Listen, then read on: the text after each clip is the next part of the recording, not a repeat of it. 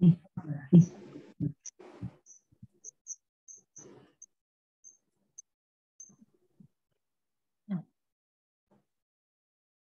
good evening. I'd like to uh, call, the, call the meeting order. Uh, the Richmond Board of Education acknowledges and thanks the First, Peoples of the Hunkaminam language group on whose traditional and ceded territories that we, we each learn and, and live. Um, I'd like to welcome everybody to the first official meeting of the board of, of the new board. Newly elected, elected and um, I'd also like to mention that, that Trustee Belleza is joining us on Zoom tonight. So I, I Trustee Belleza. Um, Thank you. Thank you. Okay. Uh, recognition of the visitors, and we have uh, Maria Rantanen from the Richmond News, and we have our, our uh, Richmond Tea Association President, uh, Stock. Thank you for joining us. And announcements from trustees. Announcements? Uh, Thank you, Chairperson Tablotney. Um, briefs regarding the 2023-2024 annual budget will be accepted without prior notice at the January 25th, 2023 regular meeting of the board, as well as at the 20 uh, February 2022, uh, 20, sorry, February 22nd, 2023, March 29th, 2023, and April 26th, 2023 regular meetings of the board. Please note that that budget uh, update dates will be available on, on the district budget website. All budget feedback will be considered by the board as part of the, the budget process, which, which is annotated to, to be completed by May, May 24th, 2023. Thank you. Trustee Sargent, do you have a I do. Thank you. As we approach the winter, the Board of, Board of Education wishes to extend its warmest wishes to students, families, and staff for a peaceful and joyous winter holiday season. We are, we are all fortunate to live in a, in a part of the world where we are free to celebrate what is most important to us, regardless of our religious faith or spiritual beliefs. It's what makes us diverse and strong as a school, school district, a community, and a nation you. And, and uh, I'm going to move to uh, Secretary Treasurer uh, Wang and ask if there's any materials not included in the packages available to, to public and also ask to explain uh, about our Zoom procedures. Thank Chairperson. Uh, just a reminder that this is a reminder for the for the public uh, joining us this evening. We'll have two uh, question periods at which time we'll be reading out questions we received uh, in the uh, board meeting account. If you submitted your questions, uh, please feel free, uh, free to do so to board meetings at sd38.bc.ca. And also, also for the public jo joining us this evening via Zoom, uh, you will be able to watch and listen to the meetings, uh, but will not be able to speak or chat during the meeting. Uh, if you have any questions, again, please, please send to the board meetings at, at sd38.bc.ca. And uh, end of this meeting, we'll be uh, making available recording of the meeting on the, the district's website. So that's the on online protocol that I'm going, I announce. So all the uh, meeting materials, they have been included in the meeting package and they have been posted, posted on the site. Thank you, Chairperson. Okay. Uh, so oh, I'm looking to adopt the agenda. Is there anything thing that trustees want to add to the agenda? You're, you're, you're moving the motion to adopt the agenda. Thank you, Trustee Wong and Trustee Lars. And um, I'm going to call the vote. Those in, in favor and seeing none opposed, the motion's carried. Thank you. Okay, um, there are no presentations, special recognitions, or briefs at this moment. Uh, there are questions from the public. Uh, And we may have questions from uh, President Baverstock. So welcome.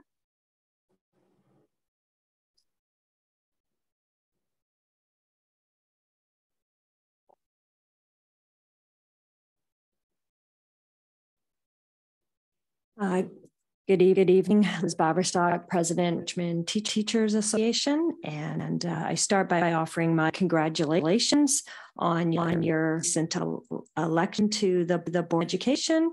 And I know that uh, there's been much learning uh, happening over, over the last uh, probably six weeks or two months um, as some of you are new to your roles. And of course, uh, those of you who are continuing on in your roles, you know that you know it's always about learning learning and education. So so, so I, I have a couple questions tonight. Um, and, and i think first question is, is probably one that is a hopefully a little bit easier to, to uh, answer. And then then the same question I, I, probably will be leaving you to think about um, in, in reflection uh, in terms of what you're reviewing tonight um, as part of the agenda so my first question is actually with regards to the board, budget process. Um, though I'm I'm looking right now toward, towards or at the 2022-2023 school year. And my question is about what is the board, the board or what has the board done um, this fall to advocate for inflation adjustments for the current budget. Um, and can the Board of Education anticipate any government announced to address the additional pressures created by an education budget that did not include any inflation adjustments? That's my first topic. Okay. Um, the budget uh, process, what's the, what's the done this fall? I, I think, you know, all, all fall was really election and um, related items. So, uh, you know, you know, at this point, um, we haven't undertaken, but but any any advocacy at that point. Uh, we did put put for motion to BCSTA, um, and I can have that motion um, um, provide for you. Uh, actually, Trust Trust Larson did, and when was that? That was October. Sorry. Just at the last. Uh, this last last one. Yeah. I mean, do okay. I, uh, yeah. Go ahead and speak to it. It passed. Um, we asked that the BCSTA urge the government to look into the inflationary situation. It passed 100% with all districts behind it. So hopefully it'll get the, the ball rolling. Okay.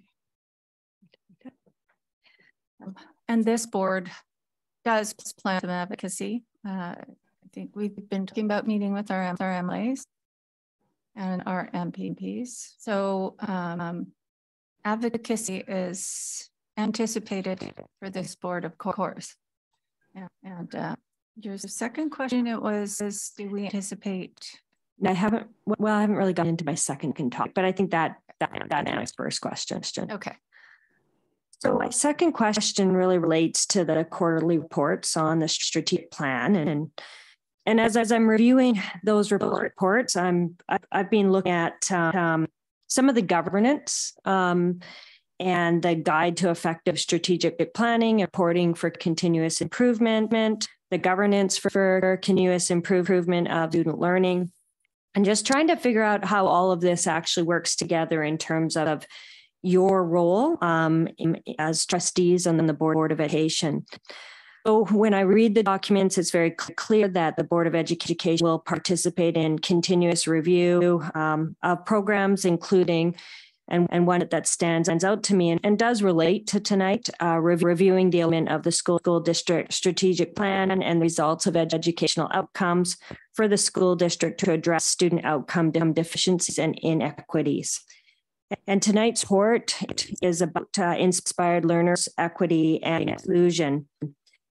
And what is really re resonating for educators and teachers um, in Richmond and across, across the province is what we're experiencing each and every day. day. And this is the chronic staff shortages.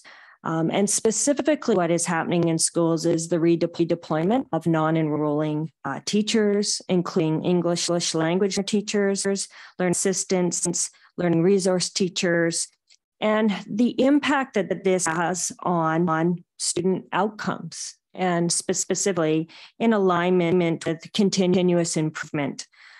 So I'm wondering is as we move through is how is data going to be collected? And how will it be reported?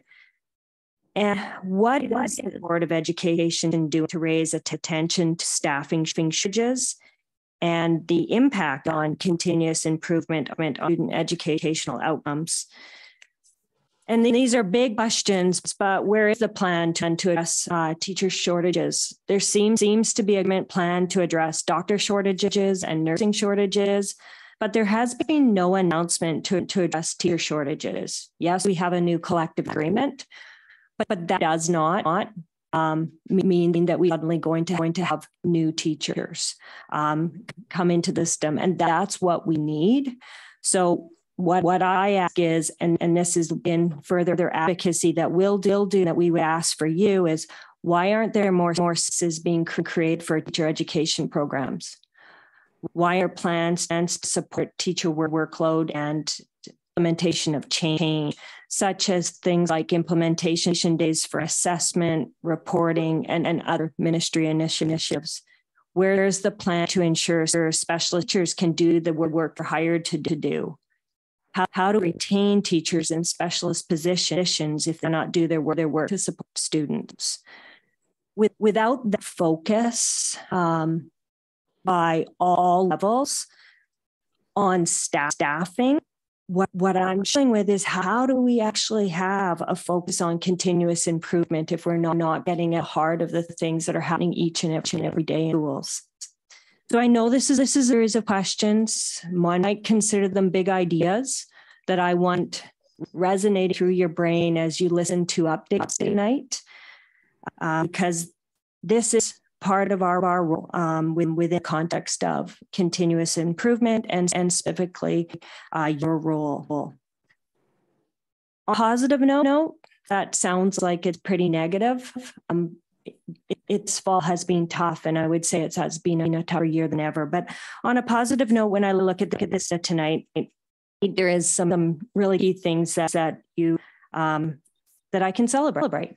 And one of the, those things um, is is regards to inspired learners, equity and inclusion, and that, that includes um, the implementation plan for Indigenous focused graduation requirement course. Um, and this plan um, was dipped with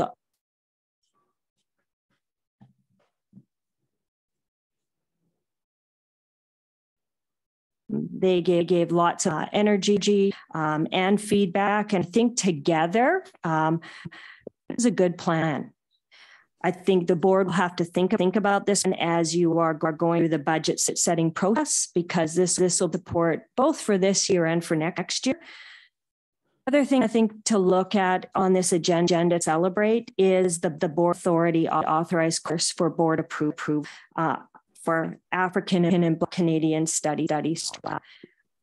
And I I like to always draw, draw attention to the work of educators because that is what, what happens behind this. this. This does not happen in Richmond teachers. It is the passion of Richmond teachers. It is the time. It is their energy to develop this, this curriculum. and so I do encourage you uh, to, to on their work and to make sure that this passes to tonight. Thank you. Thank you very much for, for your questions. I don't know that all of them be answered tonight, tonight, but um, I know that trust trustees uh, are very concerned about the shortages and that, that is a cross-wide issue um, affect, affect almost every district. And, and uh, it is extreme concern. And you're right. Uh, we need teachers to develop these, these courses, we need teachers and uh, in our specialty, you know, practice and and um, and to uh, carry carry out um, our strategic plan and all the goals and objectives. and, and, and so we'll uh, be advocating. I think this board has just started to undertake its, work, but uh, Yeah. uh, stay, stay posted. We will be um, for sure addressing those, those, those in the near future. So, Thank you, thank you very much for your, your question. Trust trustee Larson? Could you just, could you send us this list of questions? Yes. I tried to write them down and I wasn't fast enough and I would like to just read them and understand them a little bit better. If you could do, do that would be. Um, um, Yeah. Trustee Sargent? Thank you. Um, thank you for all those highlights. And I'm just wondering, we put in the the thought, thinking as a board, um, we, you know, you know, meet our MLAs and MPs coming up in the, in the new year. We're going to schedule that pretty quickly. Um, we haven't done that with our stakeholders for a while. And I, and I think, um, you know, you spoke so eloquently and and you're the, you're on the ground, ground well, along with, along with our staff. But I think it, think it would be good to consider maybe that meeting being with our stakeholders. Thank you. Yes, I would think that would be, would be uh, very important. So, um, said, stay tuned. We will be uh, scheduling something soon. Thank you. And I will uh, uh, emails on. Thank you. Thank you. It would be, be good, the list, because it was quite, it was a good list. Thank you.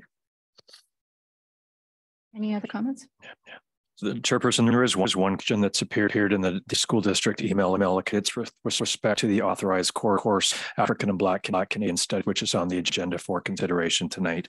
Um, so the person who had written in is uh, a woman by the name of Tom Leon. Leon. Uh, he is indicating that he is a rich Richmond parent. Uh, he is wanting to make clear that it's not a question so much as a comment for the board's consideration. And I have have shared the email, email uh, entire email with with all the trustees. Um, uh, he wants to be wants to be clear. I think he supports the, the notion of students learning about different cultures. Uh, he does not support the concept of highly, highlighting a particular group. Um, and, and what his suggestion would be, be that perhaps the top 10 majority ethnic groups be, identified and then about rather than, rather than uh, in his view, single linked uh, a civic group. So I've very much summarized uh, the uh, email that he sent, and trustees do have that in its entirety. Thank you. Thank you.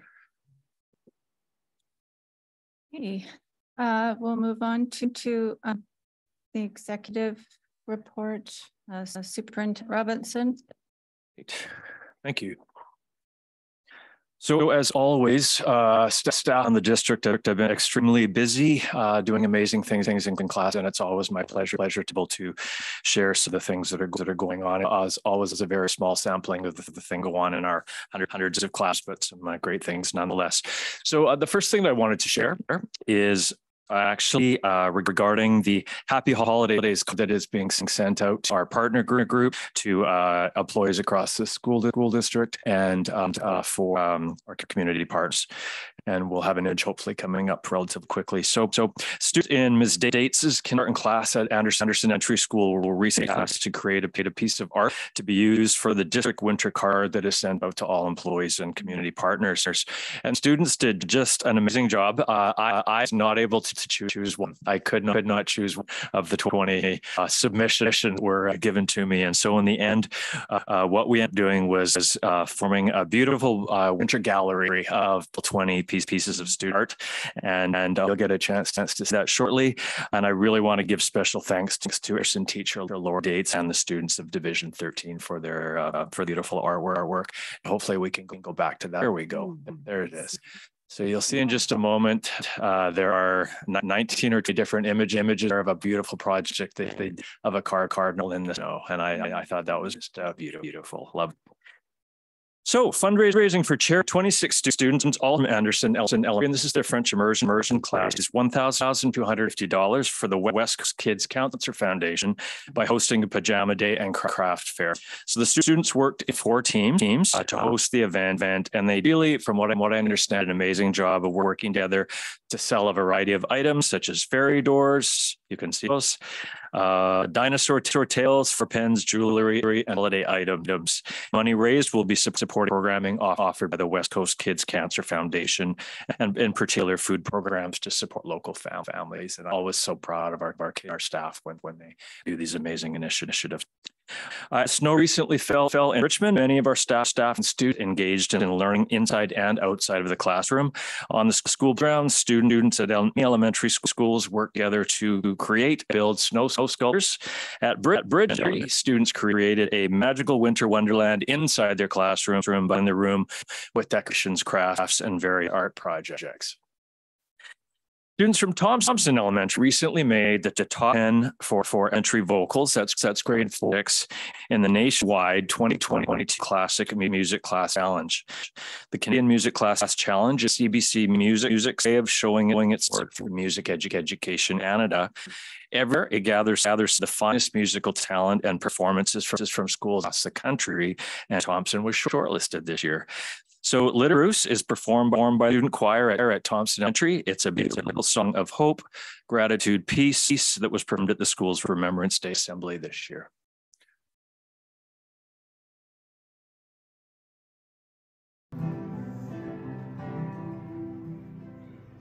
Little spruce grew on the hill above my home. From my view, it looks about the same size as me. As soon as I was big enough to roam, I took off like a shot. I was drawn towards that tree.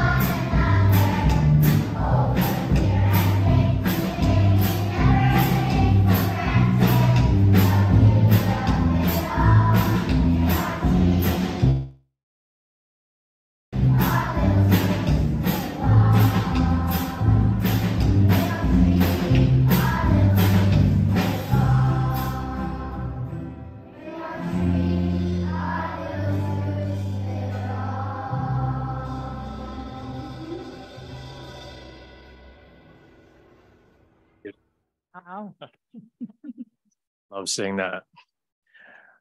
Uh, in December, to celebrate winter season, many schools in Richmond held, held annual winter con concerts. Uh, over 200 talented students students formed the Richmond Secondary School Concert. So concert band, their jazz band, and their vocal jazz jazz groups played a variety of standards, pop, pop, and hot songs. Hugh Boyd uh, uh, Winter Concert also featured a wide variety of music with some holiday favorites being performed by students in the guitar ensemble, drummers, jazz, jazz band, and concert band. And it's a really nice, nice sort of overview of the music programming that goes on and on in our schools. It's the district. Really lovely to hear and see. Deck the halls at Mitchell Elementary. Uh, uh, staff, students, and fa families receive part, part in Mitchell Elementary's annual Deck the Halls competition. Classes can compete either, on their own in, or in collaboration with their hallway neighbors to make their bulletin boards festive and bright. Right. Some chose to go with a theme, such as How, how the Grinch Stole Christmas, a, a Winter Wonderland, among, among and Gingerbread Lane, while others chose to, to make interactive displays such as the Elfie Elf and Snow Globe. Every year, the competition and the holiday spirit exponentially. At McRoberts, uh, in, in their library learning commons, they recently welcomed staff and the kindergarten French immersion students Whiteside Elementary School for, for Une Heure des Fêtes. The grade eight French French immersion chose stories from a selection of, of winter-themed French books and prepared some sim simple literacy activities to, to help guide understanding of young buddies rotated through two nations, half, half of that story time and the other half engaged in a process art activity, choosing from a variety of materials to create winter scenes. Each buddy there was also also invited to take a short vi video of front of uh, uh, sorry in the front of, his green screen, and then a grade eight student then used the videos to build a happy holidays snow gift for, for each student. This event provided an, an, authentic language experience for our youngest French immersion learners, and students were able to build community unity grades in schools, which I thought was just a wonderful way to celebrate the winter season. And finally, Holiday Hope Hope campaign uh, at Palmer, Palmer Secondary. The school's holiday campaign to encourage students to, to bring collectible items to, to schools to support the Richmond Food Bank recently took, took recently took place. Students brought items that related to the, day's theme, including bringing books, toys, packaged packaged foods, canned goods, and donations. And at the end of the campaign, students made a significant donation uh, of needed items for the Richmond community. Congratulations to the Palmer student students. Beautiful initiative and the impact that uh, we know they'll have on our, our families and our community you know and as i said at the beginning of this presentation this is just a highlight of the things that are going on in our schools right now. This season in particular our kids are going out and showing how much they care about their community um, and it certainly makes me uh, very proud to be a part of this school district. So, uh, Chair, Chairperson, just before I wrap up, I want to say as we approach the winter break, I think I think it's important that we take a moment to acknowledge the work of our staff across the school district. Um, I, have, I had joy of being able to return to visiting schools this past term. And I have to say, I have been so, so impressed consistently with the work of support staff, our teachers, and our leadership, leadership staff to uh, support our kid families. Our work in public education continues to be changing for many reasons, and words about that tonight. And I, have to say, despite that, the great, the great majority of our staff work through these challenges and come and come to work every single day with the goal of doing what's what's best for kids and families, and they are truly inspiring. And I'm grateful to work along, alongside so amazing people in the, in the school district. I just want, just want to you that. So I'll wrap up my report there. Thank you. Thank you. And I believe, you know, probably trustees were able, were able to attend winter uh, concerts and, and events um, as I did it. And it's just a joy to go back into schools and experience it once again because uh, we missed it so much during that. Even mentioned in that period of now. Um, so we move on into a time of uh, healing and renewal. Right which would be wonderful. So thank you very, very much. And it's just such a such a pleasure to hear kids singing. They haven't stopped after all, all this time. Thank you. Um, do trustees have, have any questions? Robinson. Uh, approval of the minutes. So there's a, re a record of our meeting of the board held Wednesday, October 12th uh, 2022. And also a record of an in-camera special meeting of the board held Wednesday, November 30th, 2022. And uh, for approval, there are minutes from a regular meeting of the board held Wednesday, October 12th, 2022. And looking for mover and seconder for those uh, trustee Larson and trust Sargent. And any discussion I'll call the question. All those in favor? None opposed. Motion's carried. And uh, there are also so, uh, the inaugural meeting of the board uh, minutes held Wednesday, November 9th for approval. I'm looking for, for action for, for um, trustee Hamaguchi and trustee uh, Wong. And any discussion? All those in favor? Opposed? Thank you. Motion's carried. Okay, so um, we have our business arising section, and there is um, a recommendation, the annual budget process and timeline. And um, Secretary Treasurer Wang, do you want to speak to this? First, first. Uh, sure. Uh, thank you, to Chairperson. I will speak very briefly about, about this report. So my report, trustees, is on page 18, 18 20 of the board meeting package. In this report, uh, the proposed 23-24 new budget process and timeline are similar to, to what was used, used in previous years. Uh, this process is to to run from January to April with the plan and to finalize the budget budget by May proposed the time timeline and process is to ensure the board and the district has sufficient time and uh, be, be able to take opportunity to, to engage with uh, the community and seek in feedback and input from our stakeholders and the community through the process. Um, so therefore, the recommendation is to approve the budget process and, and timeline um, for the 23-2024 new budget. And the recommendation is listed on the top of uh, page 818. Thank you, Chairperson. So I'll quickly read that recommendation. The Board of Education approved 23 uh, 24 annual budget process and timeline as presented and further that the board directs staff to post the budget process and, and timeline on the district's website. And I'm looking for mover uh, trustee Yang, uh, second, seconder, trustee Sargent. Um, is there any discussion on the budget process? Uh, trustee Hamaguchi. Um, um, Secretary Wang, um, is this the, the same basic dates, dates last, is the timeline changed at all? Uh, uh, correct. It's very similar to last. Last year. Okay. Okay. Thanks. Right. Uh, trustee Sargent.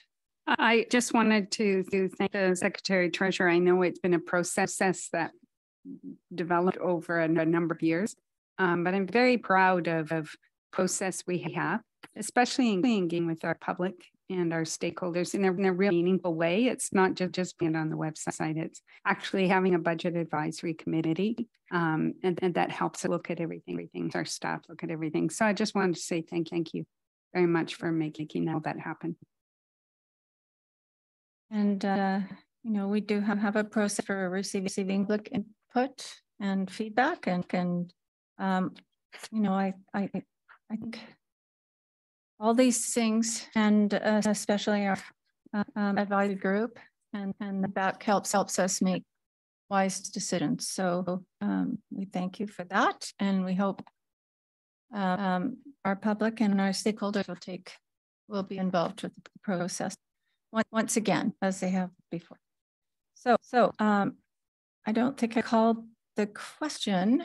So I'm going to call the question if, if there aren't any comments, all those in favor of the, of the motion and, and opposed. So thank you very much. That is approved. Budget process and timeline. Uh, next on our agenda is the strategic Land quarterly update and our strategic, strategic priority one and two. that will be a report from Deputy Superintendent uh, Mr. Ryan and, and Assistant Superintendents Brodigan, McMillan, and Granger.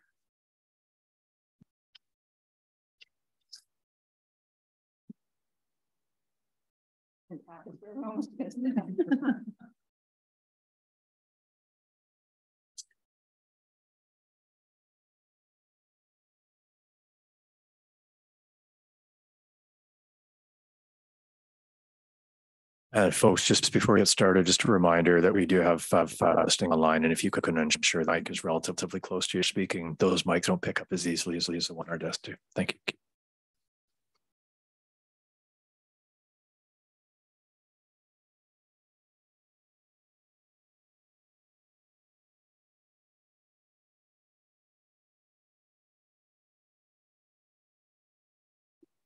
Well, thank you very much. Um, we have talked quite a bit, a bit about the strategic plan, and we do, do believe it's really, really, really important to talk about the strategic plan.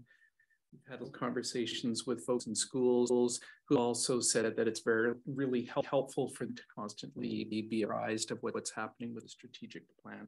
So I'll just just talk, Paul, about this that's in front of you, which and just give you a bit of an overview, and then my colleagues will, will sort of dot some of the examples. But inspired learners, priority one it's really, it, it, it consists of four goals containing a significant number of objectives, and the vast majority of those have been uh, initiated last year. And many of the goals, goals and objectives are multi-year ones that are going to continue to unfold over the years, ahead.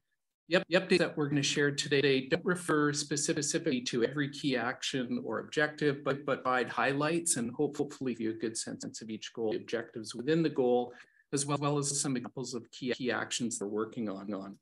Broadly, though, it's important to know that within priority one, there are many intertwined educational elements that contribute to the development of inspired learners. And you can see the illustrated up, there. Uh, for example, we've got the, the core competencies, which are up at the top, and there's this the C for communication, uh, the T for thinking, and the PS for personal and social competency. And those are the umbrellas that, that really arch the, the, the BC curriculum. Uh, and the curriculum content gets folded in underneath and woven into all of those. Um, we also have assessment and reporting, which of course, assessment not only guides instruction, but, in, but informs the pathway along the way, and then makes uh, decisions about how, how students are performing at the end of, end of instruction and learning.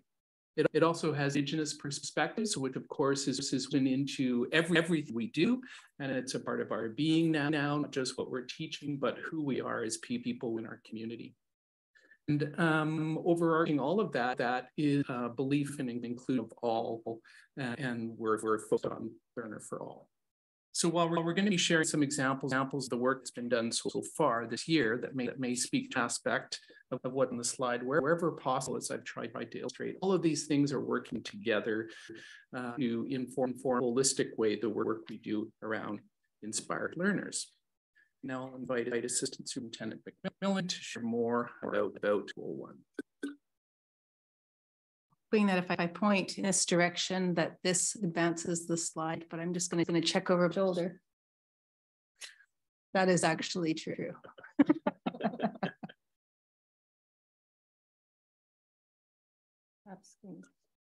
Just go to the next slide.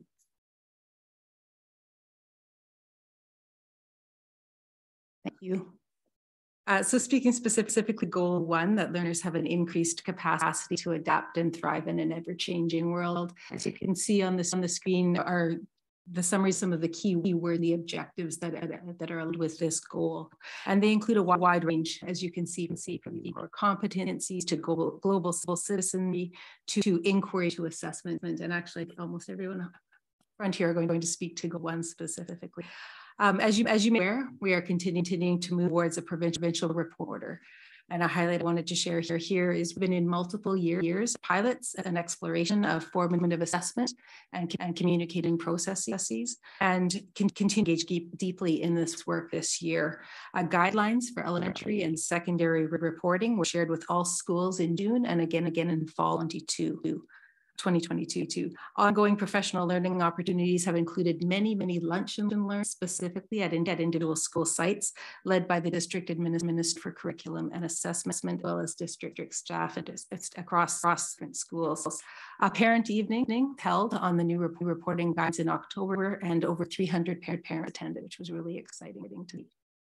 I'll also highlight, um, as referenced on this slide, environmental stewardship this 24 schools are receiving EcoWise grant funding this year, and we're pleased to have in place a to consultant as approved uh, this year area of science and sustainability to, to directly support these goals as well.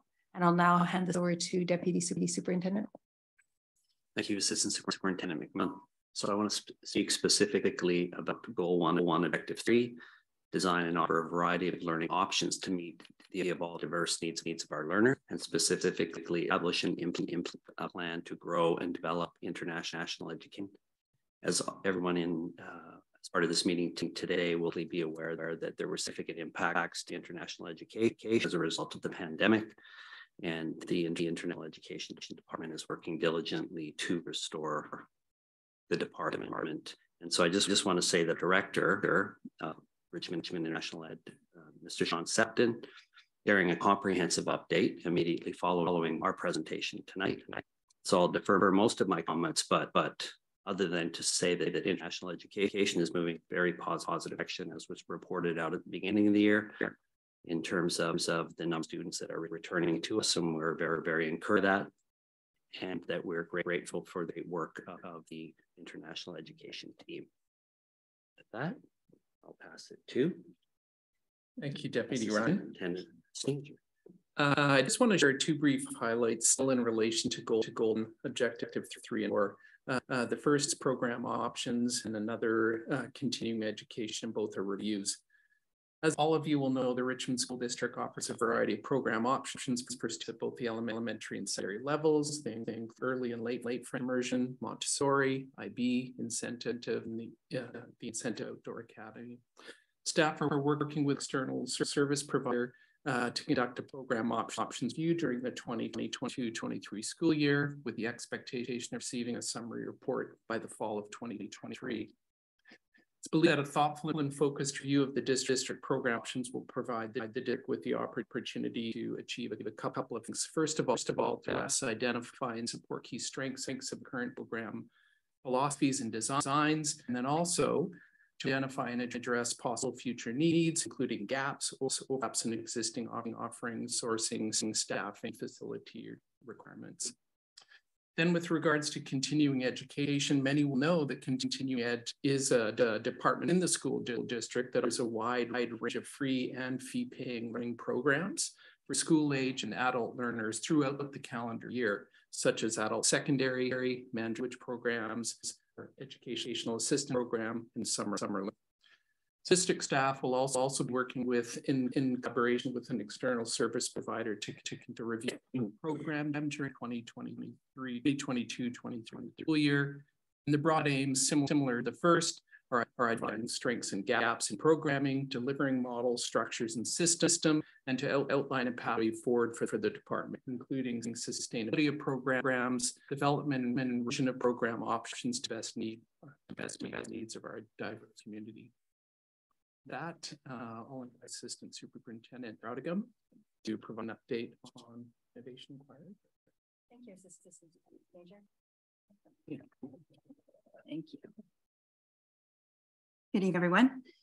Um, the work that supports Party One, Goal One, to deepen and support ability to, to reflect on goals related to curriculum core competencies is really illustrated uh, through our, our innovation query grants. There are 112 uh, inquiry grants in process year in 11 different focus areas. Um, um, and you see up on the screen the focus areas for, for our uh, inquiry grants under both strategic priority one and two, inspired by learning and equity and, and inclusion. Um, and we have focus areas, areas this year based on feedback from last year. So, so the new uh, focus areas are reconciliation, activating student voice, numer numer numeracy foundations, pillars of liter literacy, and outdoor learning and land pedagogy. Three teams meet several times a year uh, in a group group with the teacher lead to deep, deepen inquiry and also works as a school team to focus on their inquiry question. District Inquiry Committee is focused on deepening inquiry practices in, this, in the district. Here has its own social inquiry, which is how are the inquiry grant structures building a culture of collaborative inquiry in our district to gather feedback back of how and what educators are learning, learning as a result of their inquiry projects. And in order to support the process of school setting inquiry focus for their schools with outcomes that are specific, meaningful, measurable, and, and evidence informed, principals and principals meet, meet several times a year to learn more about inquiry, uh, uh, develop their school focus, and ensure that they are gathering student voice and, and then their learning and, and actions on their websites for the their uh, community view and, and into it. So that's uh, innovation and inquiry, and I'll pass it back to Assistant Superintendent McMillan learned how to, I think. So good. Uh, moving on to, to goal two, uh, as you can, can see text on this on this on this slide, the objective encompasses healthy living variety of forms, from physical to, to mental health supports, opportunities to engage in, in the community, and deepening understanding of the core the core competencies as learners learners explore who they are as learners and learners and communicators. In terms of district supports, uh, key actions this year are continue to provide support and professional learning opportunities in the area of, of physical mental health. Another significant key action underway over the past year has been the development of the initial structures and implementation for Richmond Integrated Child and Youth Teams, which is a multi-stakeholder collaborative effort that, that underway. As, as part of the ministry's pathway to hope, this involves working with Vancouver Coastal Health, the Ministry of Education, other partner groups to develop a comprehensive, cohesive structure for, for health supports for children and families in Richmond. Two districts, um, I see what clinical counselors, I see, I mean, meaning integrated child and youth and youth members. Uh, two, ICY clinical counselors, two district peer support workers have been hired this, this fall. And our district partners, as Vancouver Coastal Health, are progress with hiring additional members with hopes that very soon the, the TA able to, to uh, co coalesce and able to move forward with implementation supports later this year.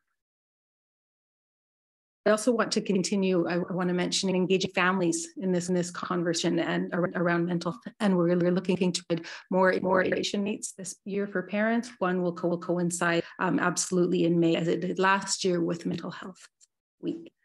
Moving, moving on to the next slide. Uh, goal three speaks to Indigenous people's history, perspectives, and learning approaches embedded within district plan and practices. And a significant amount of work, work has been going through these three objectives outlined in this particular goal, goal area from professional learning for educators and all staff across the district around reconciliation to supportive resources to schools and targeted professional learning sessions and, and school support with teachers in their classrooms. Example would be the resource, resource that were developed and shared in September to support school activities for the September 3rd, 30th National Day for Truth and Reconciliation. Secondary school teams this year have, have participated in a Mirrors and Windows professional learning series, looking at diversity in school resources and learning about guiding principles for select selection and what might be available purchase and to evaluate that those they move forward. Additional materials continue to be provided in an ongoing way through the District Resource Center. And we'll talk more, more about this um, later on, on this. We're excited to be planning and providing educator support as we, as we prepare to, uh, to implement the Indigenous focused graduation requirement, which, which will come into effect for the, for the 2023-2024 school year. Um, we're working concurrently on the plan with regards to professional learning and reason reports, and we, we will be moving forward with that. That although begin until next year in terms of, of the course offerings themselves on developing, educated support and plan plans for implementation. As well as I'll, as I'll close, I have completed the, the Equity Action Scan PROSA project that we've been involved in for the last couple of years, just at looking, looking at Indigenousness success. The report will be shared pub publicly January 18th, the Edu Public Education Committee meeting, and we look forward upon board approval to implementation of some of those, those recommendations. Finally, in goal four, four, as foundations to the curriculum, focus on literacy and numeracy are reflected significantly strategic plan in this area. work, work on last year in creating frameworks for both literacy and numeracy. And you can see on this slide, a little bit small, the pillars of literacy that have developed as well as, well as the well, the early primary K to two numeracy foundations. In terms of literacy, the primary framework has now been launched with teachers this fall. The K7 framework is complete and will be more fully launched as the year go, goes on.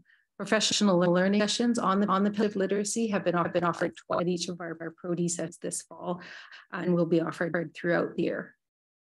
The consultants are providing individual and small work as, as a new professional learning learning opportunities to support implementation and deepen practice in literacy instruction. I'll mention literacy bursts. This is a new term for us, uh, which are which are short, focused professional learning learning opportunities, as well the district's literacy YouTube channel are continuing to provide other other avenues support for our educators. In terms of numeracy, Beta 2 framework, as you, as you said, is now complete and is being shared with our prime teachers with ongoing professional learning support for implementation. The three to five framework is currently under development with a tentative complete date of spring 2023. And, and so on We'll continue on and eventually we'll have K to 12, 12 for those areas. And finally, there's ongoing support uh, and, and professional learning to, to deepen student staff understanding around digital literacy and work work will be is being on us a supportive framework for that as well this. Moving to priority two, goal one, that district learning environments are equitable and inclusive. There's a number of objectives within this that speak, speak to support connection and belonging for students with disabilities and disabilities, as well as other potential vulnerabilities, including children and youth in the care history of children and development. Children and youth in care. This includes a focused lens on their progress, attendance, and, and success at school, including monthly reporting by each school, which is reviewed by district administrative student services. Again, again, ongoing professional learning provides opportunities for educators across roles to build understanding, strategies, and supports to address the, the needs of learners with disabilities, diverse abilities. One example, in September uh, uh, this year, 195 ELL and learning resource teachers came together for a conference focused on developing effective education plans and associated implementation that supports the individualized needs of learners with disabilities and diverse abilities. And national learning continues on throughout the year. Providing equitable and inclusive learning environments gives rise to a lot of opportunities for us to look at a number of structures and across all of the in our schools. Pass things over to Deputy Superintendent Ryan. Thank you again. I want to speak specifically about, about uh, the commitments to, to create, begin implementation of a plan based on, on inclusive education and alternate program reviews. So I have to update the board and the public on the status of those reviews. Great deal of work related to this objective has been undertaken in the 2022 year, and I'll, I'll update you brief on two of those, uh, the Aspen Learning Center and alternate, alternate program. The Aspen Learning Center, we're located at MacNeill Secondary School, opened for the 2016-17 school year, year. And then the Learning Center was introduced as a specialized secondary program and intended to the needs of students with complex, complexities requiring significant support. Placement at the, the program, a program at MacNeill Secondary was originally planned to be temp temporary, and the review assesses all aspects of the program with a view to bring some of the di district's vulnerable students with the best possible education to, to support their now and into the future. So the Aspen Learning Review Report will be publicly at the Education Committee meeting January 18th. And the report comes with a comprehensive range of recommendations for consideration and ultimately board approval early in, in the new year. Moving on to the review of alternate programs, which includes, includes combined studies, integrated academics, and station stretch, et cetera. The purpose of alternate program review is to assess and make recommendations regarding program philosophy, design, sustainability of the programs and locations, as well as current and future needs. And at this time, in a draft report has, has been reviewed by staff. The report will be shared board in January Education Committee Public on February 15th. And the report will include a comprehensive range, range of recommendations for consideration and ultimately board board will anticipated first quarter order of 2023. With, with, with that, I'll turn it over to Assistant Superintendent Rodigan. Thank you. Thank you. So the work within strategic priority to, to goal and equity and inclusion supports and expand our mission to ensure that all students, families, and staff feel welcome, are treated respectfully, and have a sense of belonging. The, the work that's subjective one, one of goal will support all, all learners to develop a sense of connection, belonging, and positive personal and cultural identity, includes providing professional learning opportunities on an on, ongoing basis that, that are responsive to learn, learner needs. The fact that learning is an ongoing process is major focus of strategic two. Professional learning opportunities are perpetually in development to meet the emergent and ongoing needs of staff. Examples include, include workshops about diversifying the holiday, holidays entitled, Is It Beginning, Beginning to Look a Lot Christmas? and books focused on diversity, equity, and inclusion. Another important action within this objective is to continue to conduct student focus groups. Districts are connecting with schools to develop student focus groups regarding identity and belonging. Data collected from the focus groups last year is being analyzed as, as a source feedback for development further student student focus this year. Table 38 met in November 20, uh, November, and we'll, we'll continue to explore options to increase the diversity of student voices this year, including a student, student conferences in its early early development stages for the spring, spring of 2023. Uh, an additional action is to review the imagery in the district to ensure representation and show staff and student student success from various backgrounds, abilities, and identities. One way that is being enacted is that schools that are engaging in mural projects are supported in ensuring diversity in the theme of the mural, and you can see some examples screen. Schools have also been invited to participate in mapping the ethnic diversity or community on of the world for, for display school foyers and hallways. Um, goal two, uh, priority two, states the district actively addresses un unconscious bias and privilege, systemic discrimination and marginalization act based, based on facts such as ability, color, cultural identity, gender, gender identity, indigeneity, beliefs, race, religious beliefs, sexual orientation, and socioeconomic status. I know that is a long goal. However, I think it's important every time that we, we state all the uh, intentions of all, because it's really important, important for our work. Um, the summary of strategic priority to this evening describes the actions underway to actively address this. Object one is to identify and develop a plan, plan to respond to current district challenge related to systemic discrimination and marginalization. An external audit, as you know, was completed in November of 2021. And based on the, on the audit, the Diversity and, and Anti-Racism Working Group presented its eight priorities to the Board of, of Education uh, meeting in April 22 for approval. As a result, the Diversity, Equity, and, and Inclusion Advisory Committee was formed to further the recommendations within the priorities and is developing a work, work plan to address the findings of that audit. A recent example of this, this work is the development of a policy checklist to review and develop policy with an equity lens that was shared policy committee, committee earlier week. In addition, the four subcommittees of SOGI advisory are establishing membership for this year to work on specific goals to develop strategic, plans based on recommendations from SOGI advisory committee. And finally, the, the X-SCAN report will be presented to education committee in January.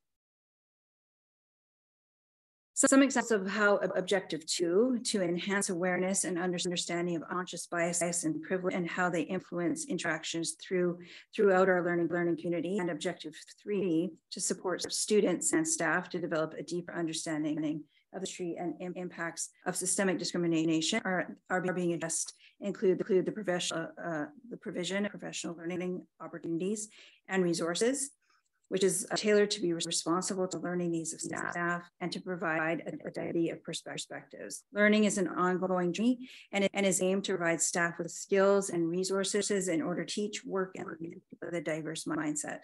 You can see on the slide just a hand, handful of learning opportunities from this fall for a variety of staff and student audiences.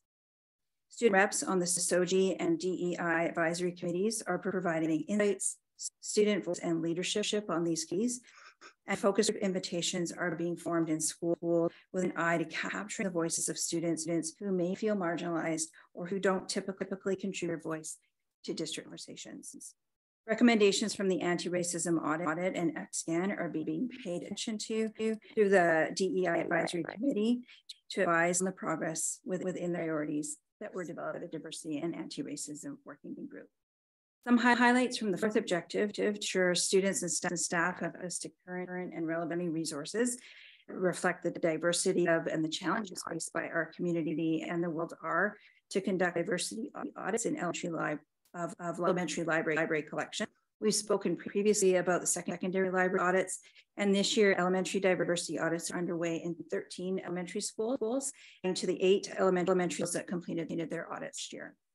School book room collections are also being reviewed through the Mirrors and Windows project, and book bundles on timely topics related to diversity, equity, and, and inclusion are also, also purchased by the district and, and sent to all school libraries.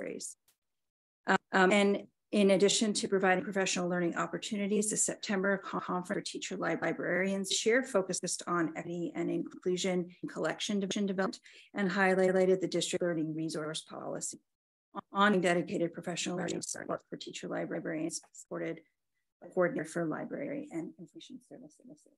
And that, that brings us to the end of our early update for priority one and, and two. Um, and of course, we're happy to take any, any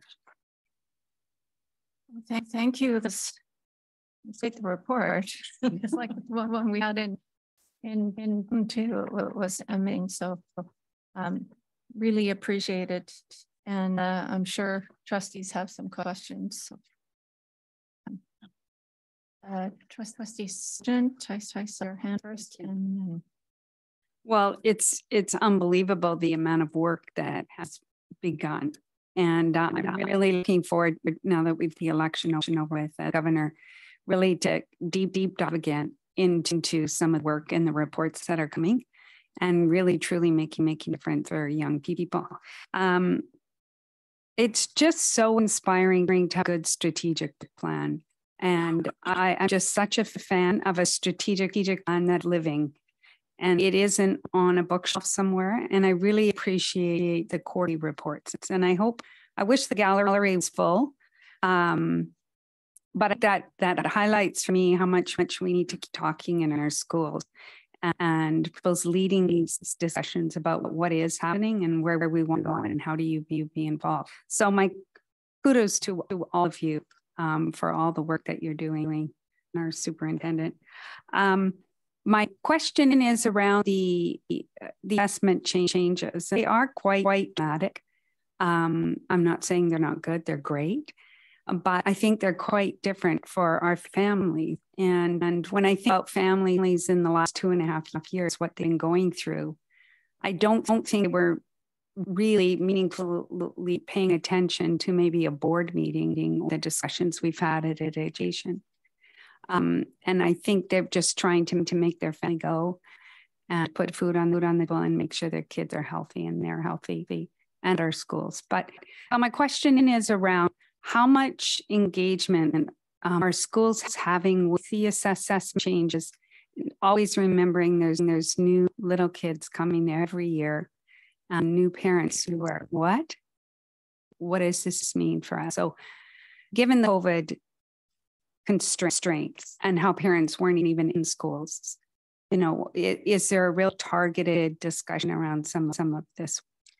Yeah, um, it's a great question and something that will continue to unfold. And certainly, one thing, thing I'm really proud of, of in Richmond is that through the work of Superintendent Assistant Superintendent Archer previously and other others who've had this role.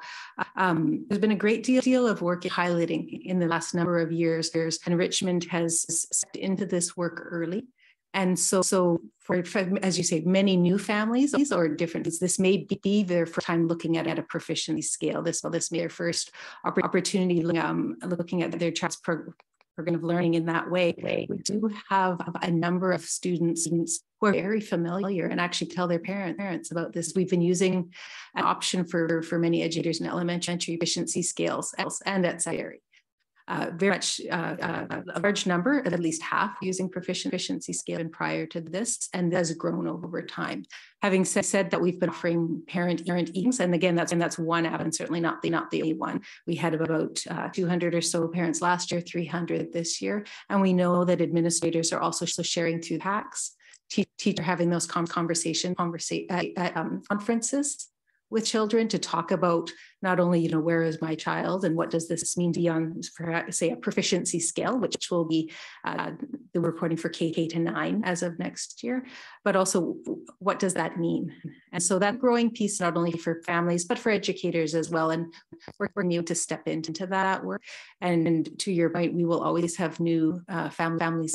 There are, are some documents from the ministry and parent brochures that, that we're sharing as well that schools are able to pass on to families. Trustee Yang. Thank you, Chairperson Tablotney, and um, wow, thank you so much, so much to staff this uh, comprehensive update. Cer certainly puts in, into perspective of, of how league education is is progressing in our district. Um, I, I, just have a, two two questions uh, related related to priority one one goal three. Um, so in goal objective two, it states that uh, promoting understanding of the first people's principles of uh, among students. Uh, and so I'm just curious to um, you know what kind of resources and materials are provided to, to educators to promote that, um, whether whether that's you know displays being given uh, to, to, classrooms, posters, or mm-hmm. any sort of in-class discussion. Maybe perhaps perhaps you could. Uh, yeah, I'll start with a very simple one, which, which is that um, the first people's principles of learning posters are prominently on display in classrooms and through our schools where there's always always we don't stop at a poster of course. One thing thing that's been important as people's principles were first introduced was for educators and understanding different elements and then how you weave them. There's both direct um, instruction in terms of reviewing and talking about what is how do students connect into this but also in learning opportunities where are first principles reflected and where students identify that they may see the connection where teachers may, may direct them to that. Um, I'm reminded of a story of a kindergarten teacher, teacher working on an activity with her class. It wasn't going very well. And the teacher and this kindergarten class teacher was kind of going, oh, going, oh, you know, what are we going to do? And out of, you know, what the small voice in the corner said, remember, learning takes patience and time which is one of the first principles of learning. I share that that because it is something that, that is both overt and discussed, but also wherever possible, we are weaving that in. And certainly we're, we're fortunate to have uh, Indigenous teacher consultants, our staff who, who focus on build, building that capacity in educators directly. Uh, however, our teacher consultants all work to incorporate that in the opportunities that they provide as well. Thank you. Thank you for that. It's very helpful to understand you know, how, how that actually is work, working on mm -hmm. the mm-hmm. ground. Uh, and so I appreciate that. Uh, second question, question so on goal three, uh, objective three. Um, and I understand that um, the work is being done to identify uh, potential central sites for Indigenous teach, teach gathering places.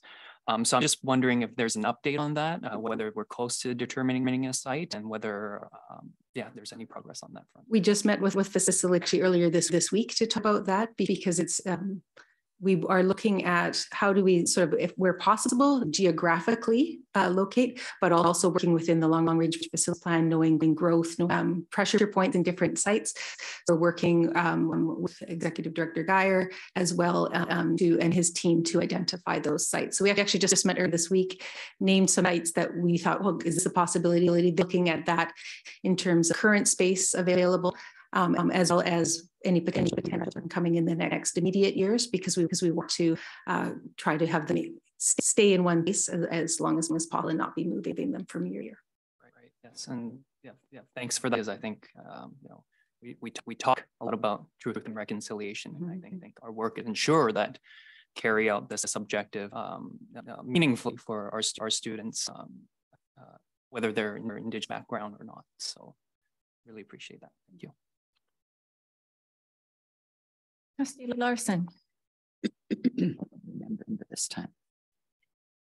Uh, thank you. Um, I, I, feel, like I can't get enough. I, I just want to hear more because I, I, I think I can't speak for everybody, but I, I think our role is that uh, sharing with our community what we learn and and so on and so to hear the in-depth examples of what you provide for us helps i know from for myself my imagination and um, understanding of how these things how these changes are taking place um, I, I, I remember as of time trustee, somebody said to me, well, what do they mean? They mean core competencies. And I thought, um, I'll find out because I, I, didn't really, really understand. I, you know, coming from the age that I am, it's math, math, science, this, and this is how it's taught and what have you.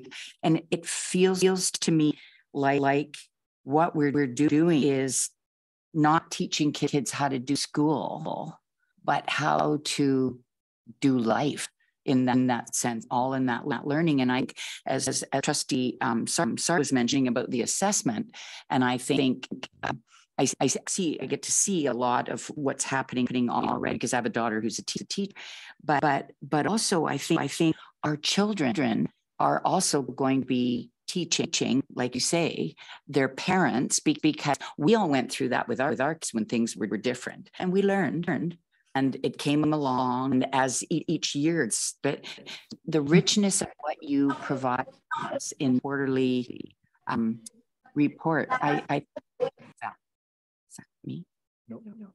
Mm, they're they're invaluable. And so uh, uh, thank you i just it, it it's learning i'm learning and then when i, when I learn i can hopefully help somebody somebody learn and feel comfortable and understand. And so thank you very much. Is there any other questions? Uh, Hamaguchi.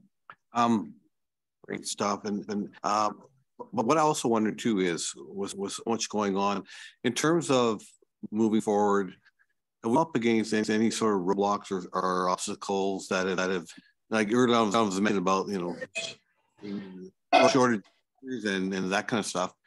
Has that come into play at all, all in, in our growth and development?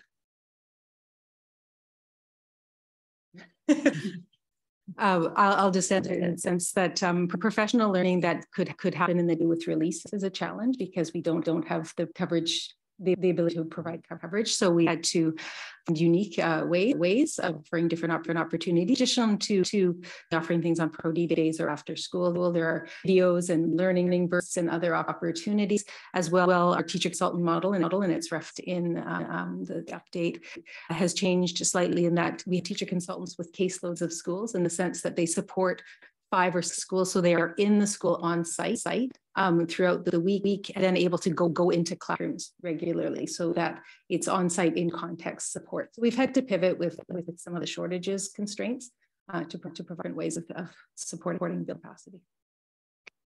You know, I love the fact that, that you know, when I went to school, school, Richmond, I mean, learning happened, but it was sort of like a one-dimensional. I just love, love the fact that it's just multi-dimensional learning.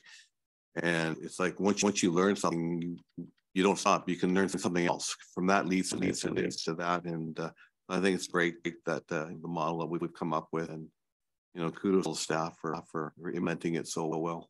Thanks. Okay. Are there any more questions or comments from trustees?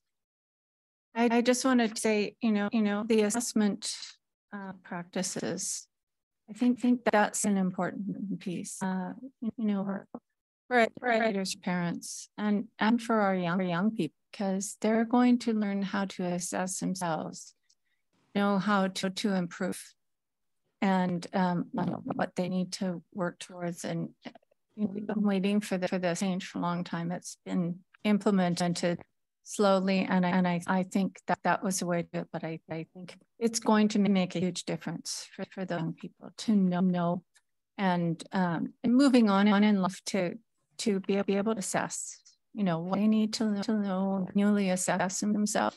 I, th I think it's amazing.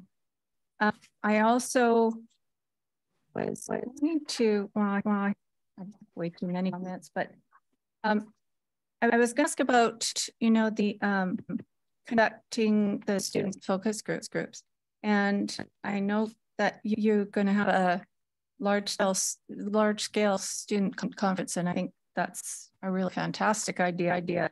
Um, because as I noticed, uh, you know, you had met um, with 38 for feedback, but uh, when, when we met with students at a dinner last year, or a couple of them, of them, I, even they said, you know, we need, to target other their voices and collect information from a broad uh, range of students, and and um, and so I think I think that's that's really important to remember in all of this that there are you know lots of different types of learners, and and we need need to focus on all of them. And I know that's that's hard to do, but I do think the student students is a good way to way to, to collect that, that information. So, um, yeah. Yeah, uh, Chair, just to comment on that. Try that again. Again. Um, it's important to uh, understand that certainly we have large scale events like, like the conferencing planned right now, but there are also very, very regular small event, events happening where kids are, kids are being spoken to a variety of kids from a variety of backgrounds on a variety of topics to, to get their input that will inform the work that's happening. So we certainly would, would uh, support that. Thank you. Yeah, that's very good. Good to know. I, I also wanted to, to comment on the centralized student referral process uh, for placement in, in the internet programs. I think that very much needed, and I'm glad to see that. So, um, you know, I think I think just amazing work has happened, and this this strategic be so fruitful amazing goals, objectives to work towards. So thank you all, all very much for um, presenting to us on a regular basis. Yes, Trustee Yang. Thank you. I believe uh, Trustee Belleza has. Oh, he's come back and and. Okay, I see your hand up, Trustee Belleza. yes, yes. Uh, I'm sorry that my Wi-Fi signal was lost. I'm in the Philippines and uh, there's some kind of problem, I guess. Uh, but anyway, I hope that the, the, this nobody has asked this question.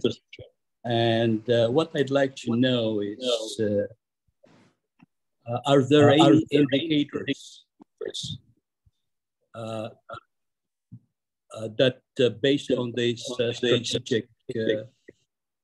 uh, would truly inspire the students. And uh, my next question would be, how do we validate or audit the success or failure of this, uh, you know, uh, strategic priority in order to help the trustees in terms of uh, improving student achievement and uh, continuous improvement. Superintendent Robinson will answer your question. Thank you. Uh, great question, Trustee Belleza. So through the chair, uh, every operational plan, and there's a operational plan for each strategic prior priority. For every single goal area, there are a number of key performance indicators that will be reported on or that are reported on in the annual report. So uh, what you're hearing about this evening is all the th things that are happening to support, support uh, the continuous improvement. What you'll hear is the measurement of that, of that through the annual report, and that comes through in September. Thank you. Okay. Are there any more questions? Well, thank you very much, much for presenting. Okay, moving on to our Richmond International Education Update. Um, and to call the, the Director of Richmond International Education, um, Mr. Sefton, to present.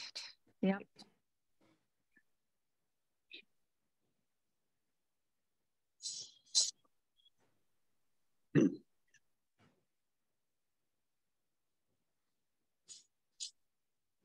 evening, everyone. Thank you for including reports to national education in your agenda this evening. It's my, it's my pleasure to deliver that report report to you, and particularly uh, in person uh, tonight. It's, it's wonderful to be here with all of you. Um, I'd like I'd like to start uh, my report where I, where I usually end off and just acknowledge and thank the support board, senior team, all my colleagues in international, all of our colleagues uh, around the district, ITT, HR, finance, all of our colleagues and uh, administrators and educators and educators in our schools, uh, Wishard. Um, it's a collaborative, collaborative effort we are able to do in international education's reflection of the collaboration and support and and and um, guidance that, I, that we receive. And and, and um, I hope you feel as positive about uh, international education as I do.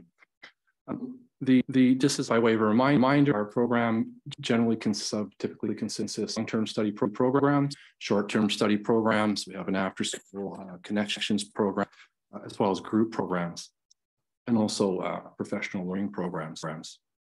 Um, I'm pleased uh, to be able to report that, that we have been able to uh, meet our enrollment expectations over the last three-year period. Our long-term study uh, uh, programs have know, a, a, return or reestablishment to our pre-pandemic uh, uh, levels, levels. Not quite quite there yet. We are, are seeing growth, continued growth. growth. I think that uh, potential for growth continues uh, into our next three-year year cycle. Uh, our short short-term program, um, we were able to see a rebirth, I guess, and a return of one of our short-term programs uh, particularly our extended uh, group groups and group programs and uh, we're able to uh, come back uh, for the first time in the second half of the last year, uh, which is wonderful. And we will are we will see the same same again for for the second half, the second semester back half of this current uh, uh, school year. Individual uh, short-term programs include also individual pro programs for school experience programs for students. And those remain strong and will continue to remain strong our summer camp camp. We've been to deliver and offer a summer camp students in the last uh, years uh, in a smaller uh, grouping, but uh, they were wonderful nonetheless. Uh, and um, we are obviously expecting to be able to do the same thing in 23 with the hope, with, with potential of seeing those uh, more participants be able, be able to join around in the summer. Um, our international student profile continues to evolve. Uh, we again see some uh, continued diversification student body. Body. We now have students from, I believe, about 31 uh, different uh, location regions around, around the world. Um, a little different. Uh, we've seen uh, a of uh, slightly shorter programs, so a few more students that study with us for a single single semester, single year, um, and also increased demand for our homestay uh, program for wanting to stay with our, host families. Um, challenge, challenge uh, start with a, particular order, but, but homestay remains, remains a challenge. Being able to offer uh, accommodation for all, all, of our students would uh, uh, uh, to, to, stay with our family. Uh, our international education homestay program uh, now to welcome uh, homestays, retain homestays. Uh, our, particular challenges is obviously this is not unique to us. Of course, this is is uh, homestays uh, accommodations are a challenge all across public sector programs, from private sector programs, um, private uh, homestay companies as well. Um, related to things like inflation, you know, the, the cost of living uh, and, and whatnot. Excuse me, uh, school availability is a challenge for us, being able to ensure we can find seats and, and, and course options uh, uh, for our students would come for a long-term or short-term terms, um, classrooms uh, as well for, for our group groups uh, come for the extended stay uh, for our connections program um, is, is also a challenge. COVID-19 uh, and I know you probably would like to, to, not hear that, that word anymore, but it does and will have, have a continued impact on, on our program, certainly into, into next year and probably for, for uh, a period, out as well. Excuse me. Geopolitical factors uh, remain a challenge for us. Again, related to COVID, COVID-19 policies, uh, mil, uh, uh, military conflicts, um, um, certainly energy costs or things related to inflation, currency exchange rates, uh, uh, trade disputes. Uh, you know, you know, foreign foreign affairs are a challenge uh, for national education, education program, and not just for us, uh, but they do remain challenges. Mental mental peace initiatives uh, can be are also a challenge for international programs, things related to uh, immigration policies and, and, initiatives related to, uh, again, military conflicts or, or other, other initiatives. Um, IRCC, Immigration, um, uh, Refugee and Citizenship Canada, who uh, process permits, entry documents, uh, uh, sometimes that can uh, equate to delays in, in, students and, and parents being able to, be able to documents to get here on time for study. Study remains a challenge. there's also agreements between our provincial governments, or provincial governments and the federal government related to funding and study permits and work permit requirements and how that impacts funding in, in, the, in the provincial jurisdictions. those remain challenges for to, to navigate and, and account for. Uh, competition, again, nothing new there. We continue to uh, have competition from uh, other countries. New Zealand, Australia have softened their hard orders again. Uh, obviously, uh, public practice, uh, IEPs, international education programs, international schools, you know, onshore, offshore, offshore schools, online schools, and, and, and the like remain um, challenges for us successes. Um, I'd, I'd, like to think we were, were able to, um, the fact that we had an international pro program, a vital, in my opinion, international education program through these challenging times is a success. And I'm, I'm, happy that we were able to do so. You uh, share the same feeling.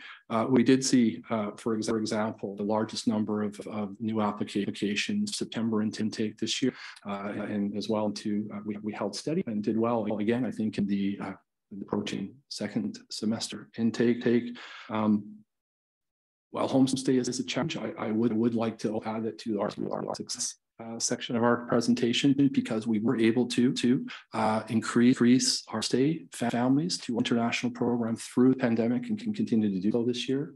Um, and through various ways, and and um, we were able to have uh, another another in-person homestay appreciation event uh, last last Friday here uh, which was wonderful. We tended to do that virtual last year. It's, wonderful to bring people in to, to acknowledge their support and the importance to our program. We had some fun. We away some gifts and some, some door prizes. We also had a, a nice and important uh, uh, and, very um, helpful uh, presentation on mental health and, and how to support international um, not just during this challenging time, but all the all the time. Um, um, it was blended and was, was a lot, and we probably ate a little bit too much. Um, communication and engagement, uh, that's, I think, a success. We'd be able to leverage and, and make use of our virtual communication platforms to increase our support and engagement with our student, students and all responsible as we able to reach out to the students and their parents before they, they arrive. So we have pre-arrival uh, orientations and can uh, deal with all, all the nitty gritty about uh, not just about the travel, uh, but uh, medical insurance and home etiquette and what to expect at, at school and your stay and things like that. Um, that's that's also as to um, um also are, are in first in person or, or really we get all of our students and new students together for orientation. We're able to then focus, on community building, you know, to have, have the students to spend more and more through various activities and field trips, trips to engage with each other, other and to get to know each other, other uh, in general as new international students in Richmond, but also based in their school, school cohort as well. Uh, that worked out really well. Uh, weather uh, was wonderful for us as well. Uh, two, two glamorous success stories, I guess, but I think they're important, important to uh, continue to um, uh, build build in uh, enhancements so our database allows us to communicate with our, our parents and, and responsible adults efficiently, be able to minimize uh, the, the, efficiency on the process, but also to minimize our environmental impact well.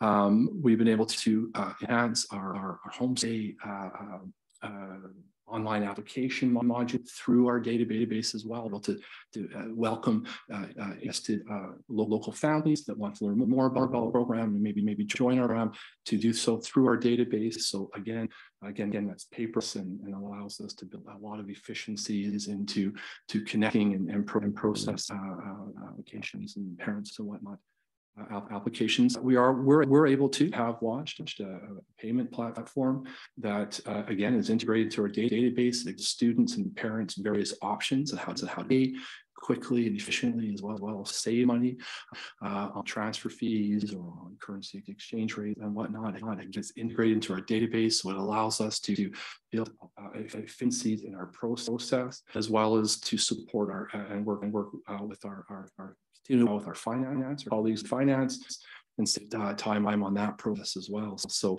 um, that's worked out really, really well as well. And, and, and since we, we were able to, uh, uh, again, for the time in three years, uh, uh, re-engage in international travel, and business. It's an important part of what we do to be able to meet with our parents and students, our embassy staffs and schools in person.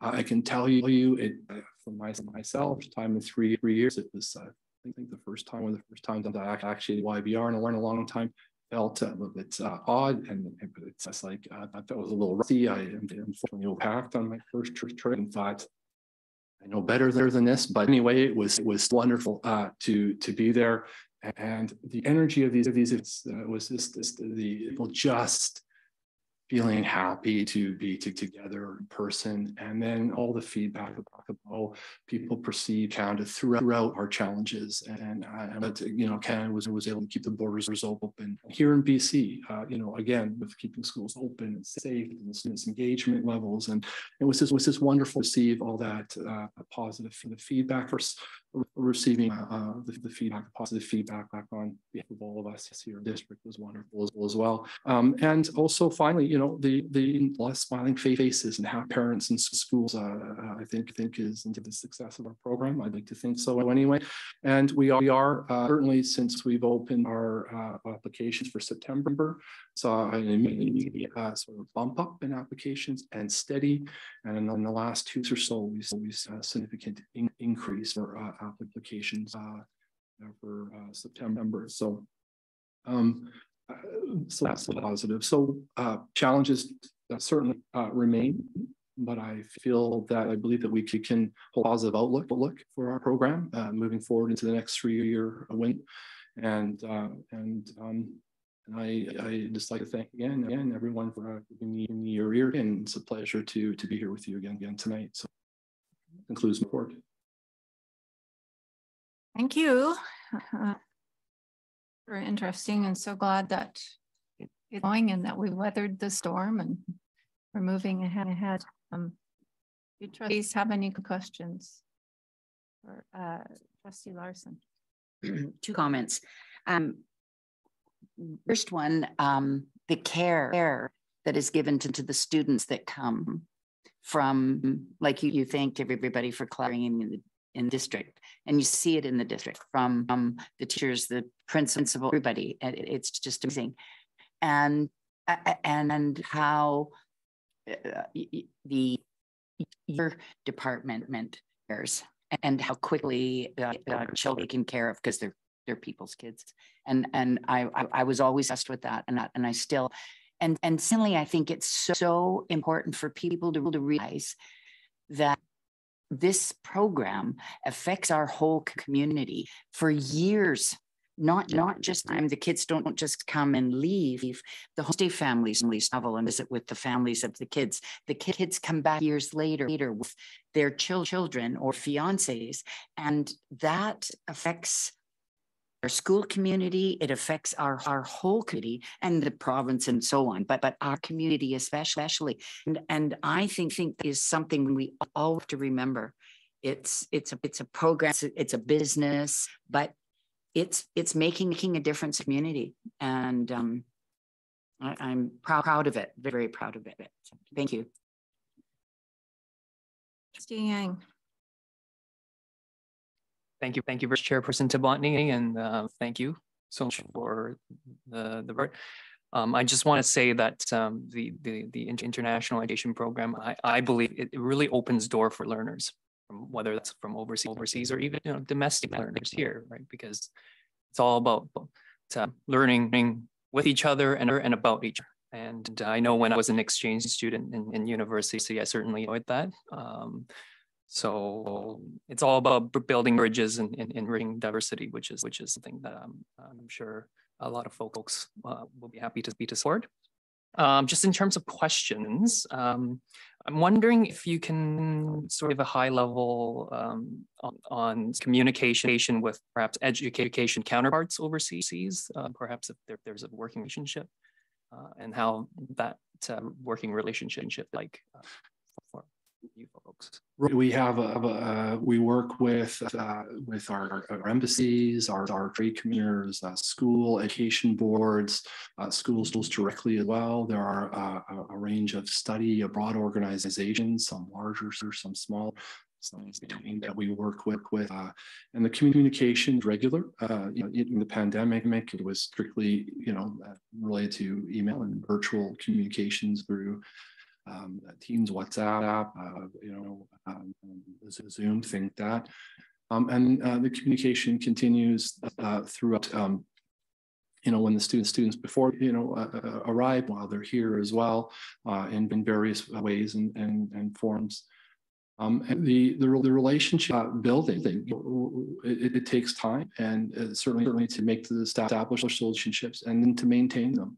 Um, and uh, certainly uh, the travel, to be in person and meet with one person makes a difference. Certainly for parents, and since they love, love, uh, you know, it's important for them to see that, you know, we're just not, not on a piece of piece of paper or a picture on the internet that the, the kids uh, will still see me here. Uh, they'll see, see me there, and, and or my or my colleagues travel on our behalf as well, and and uh, they'll see us here as well. So the communication uh, it takes various forms, and it's important. It's long term. Uh, uh, our goal is to build. for long-term sustainability of relationships and and last long time and and that we just roll up the sleeves when we need to and, and do do all the hard work too. And, and speaking of relationship building, if my I may follow up, um, does uh, RIE interact with um, any four of our sister cities at all, um, to your knowledge? Not currently. Uh, no, I believe in the past. I believe there there has been uh, support and commission in the past, um, but not currently. No, no. And uh, that's that's good to know. Um, and, and just one last question. I'm not, I'm not sure if you were able to let us know where the, the top origins uh, for international students are at the point. Right. Um, so uh, typically Northeast Asia would be uh, uh the large, uh, most of our students would come to come from Northeast Asia. Uh, uh, there. We've seen through through uh, it's in the report there as well, as well, that during the pandemic we saw increase in students from certain part of within the region in South Asia, Southeast Asia, Asia, as well as in Northeast Asia and Europe as well.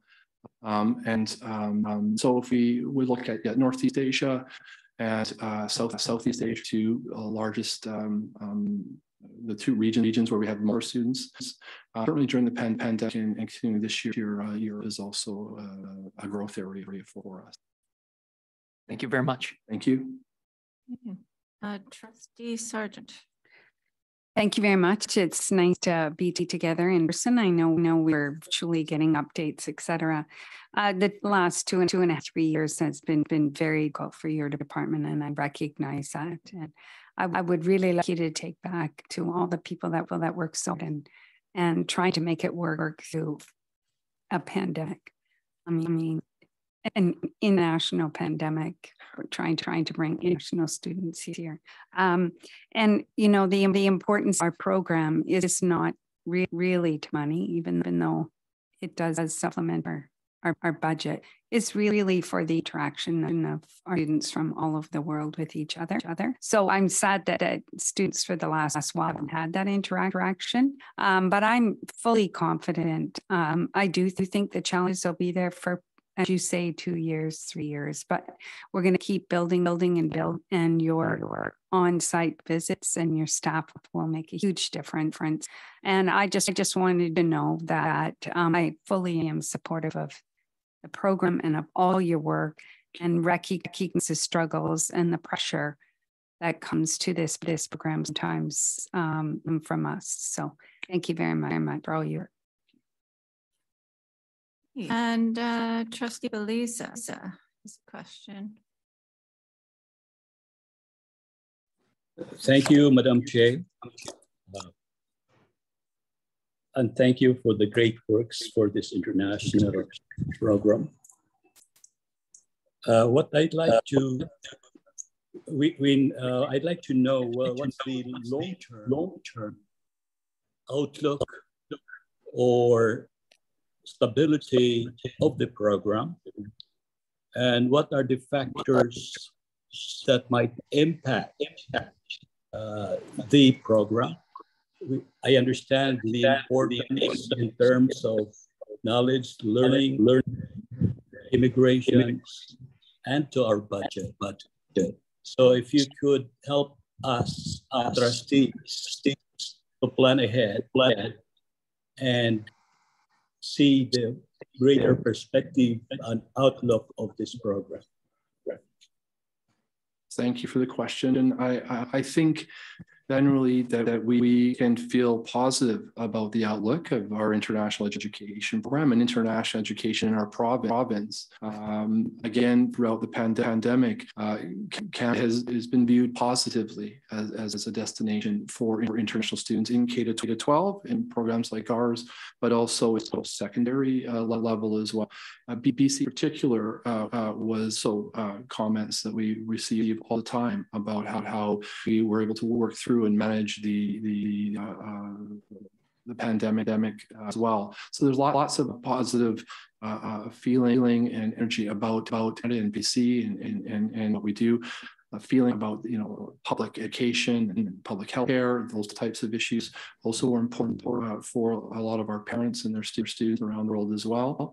Um, on the student side and side, studying abroad is still important. It, it, remained important throughout the pandemic, but for obvious reasons, we're not able to engage. We're not able to go over to overseas or difficult for, for many of them. Um, but the, the importance and the value of studying, studying abroad uh, for the parents and the students, that remains. Uh, that, that is not waned.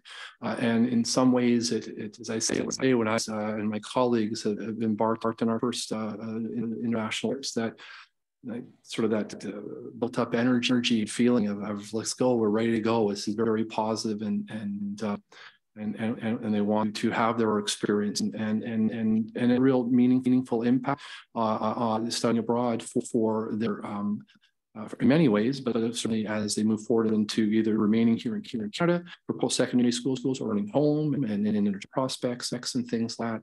Um, the challenges, uh, certainly, again, the, the, the, geopolitical factors are important. Uh, they do have impacts, as I mentioned, on, on the economy, on currency exchanges, the abilities, the, the hardening or soft borders uh, is important, and different kinds of conflicts uh, uh, do make an impact. Um, currency exchange rates make a significant impact, and they certainly uh, have, have, been, been featuring the health of the, of the economies here on our side, but also, uh, again, the infl inflation and interest rates and, and cost of living here, the differences as well.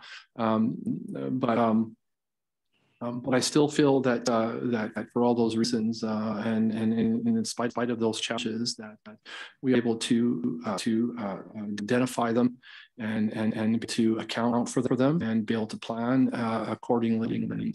I think we have a patient approach, a comprehensive approach, we we we plan for the best case case scenario. We're also uh, planning for the least you know challenges as a contingency plan that that that will be able to to manage uh, uh, uh, both of our programs and still have a viable program on, on the revenue revenue side so on the the the internationalization side the the meaningful uh, cultural and, and social connection side as well. Thank you. Thanks Trustee Hamaguchi.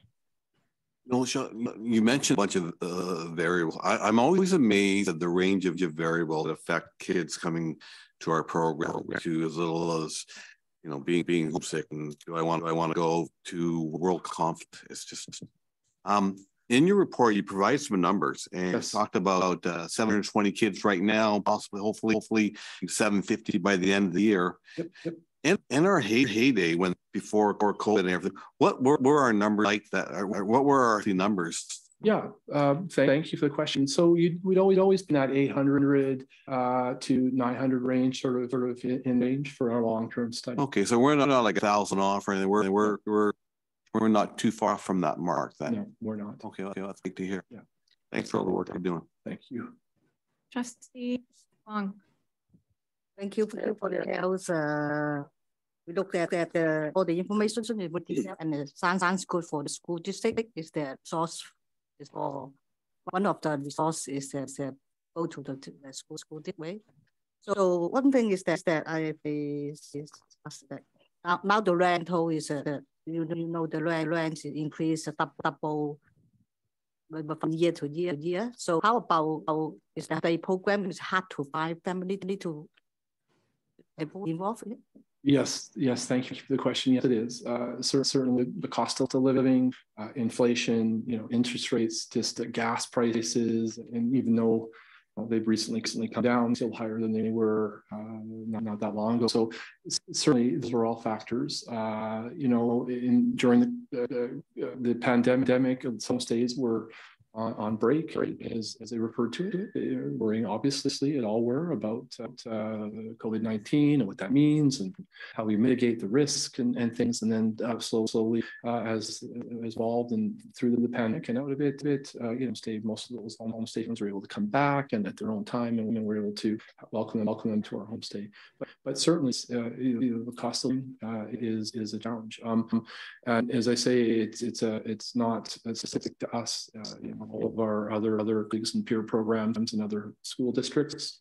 And, and also, also in the private and private homestay companies are experiencing the same challenge. So yeah, homestay and accommodations in Vancouver and Metro Vancouver especially are our challenge. I have a question too is that the guards when the international student come, so the age is that every age need a guardian or have, have a slight elder one or uh, yeah. yes, yes. Uh, uh, uh, all students, international students, because they're minors, uh, in, in order to uh, enter Canada and have a study permit or to come, they need to have a custodian, a, a designated custodian. if they're some of them, especially at the ages, will, will have to come with a parent, parent legal guardian, and that will, will live with them, stay with them the whole time that they're here. Um, uh, and even even in cases we ask, ask the, the, parents uh, have a, a custodian or a support person designated here as well. well again, to help the cultural uh, uh, adjustments and the language and the translation and thing, things that in addition to, you know, our office, as you know, we, we offer 27 wrap, wraparound care. You know, we have, an emergency phone, our, our office never closes, even if physically the, the offices, we're uh, on call all the time. 12 months of the year, 365, uh, 20, uh, 24 7, 7. Uh, but in addition to that, we, we do, do ask uh, those parents to have, because we understand too that the, you know, obviously their children might be young, young, they also need support as well, as well. They're having the abroad experience as well. So yes, uh, you know, all the international students uh, being minors do need to have a designated guardian and, and or custodian be able to enter Canada and to study in our program. That's the really important the concern about the, the students. Thank you. Thank you. Thank you. Uh, thanks for the reporting. Trust trusts are very interested in.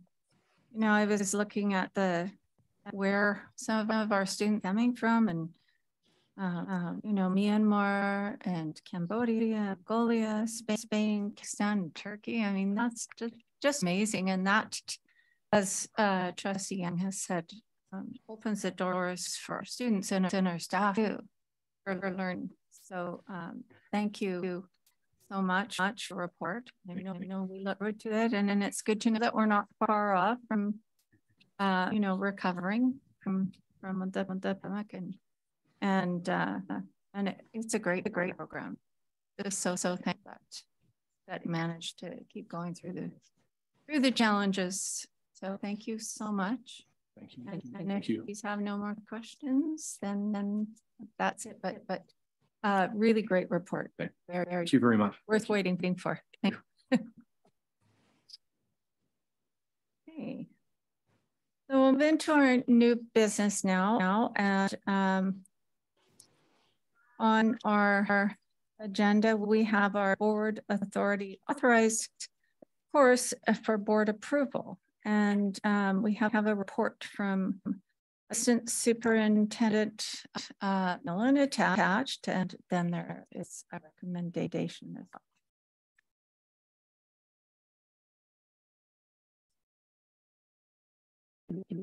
Um, as as described, the purpose of this report is to give some context uh, and information regarding newly developed African and Black Canadian Studies 12 course with, a request for board as a board of board authority authorized course.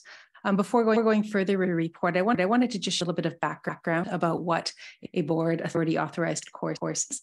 Uh, this is an opportunity that is separate from our ministry curriculum. It allows educators to, to explore content beyond the boundaries of ministry curriculum and that could, could provide some additional choices and flexibilities for students. These are courses that are not part of, the BC Ministry of Edu Education and Care curricular offerings, but are authorized by boards or board authorities according to requirements set, set by the ministry. Uh, these BA courses, which is what they're or short short called, um, um, are used as all or part of the, of the 20 active credits that, that, students can use to fulfill their graduation requirements. They might they might offer it at the grade 10, 10 to 12.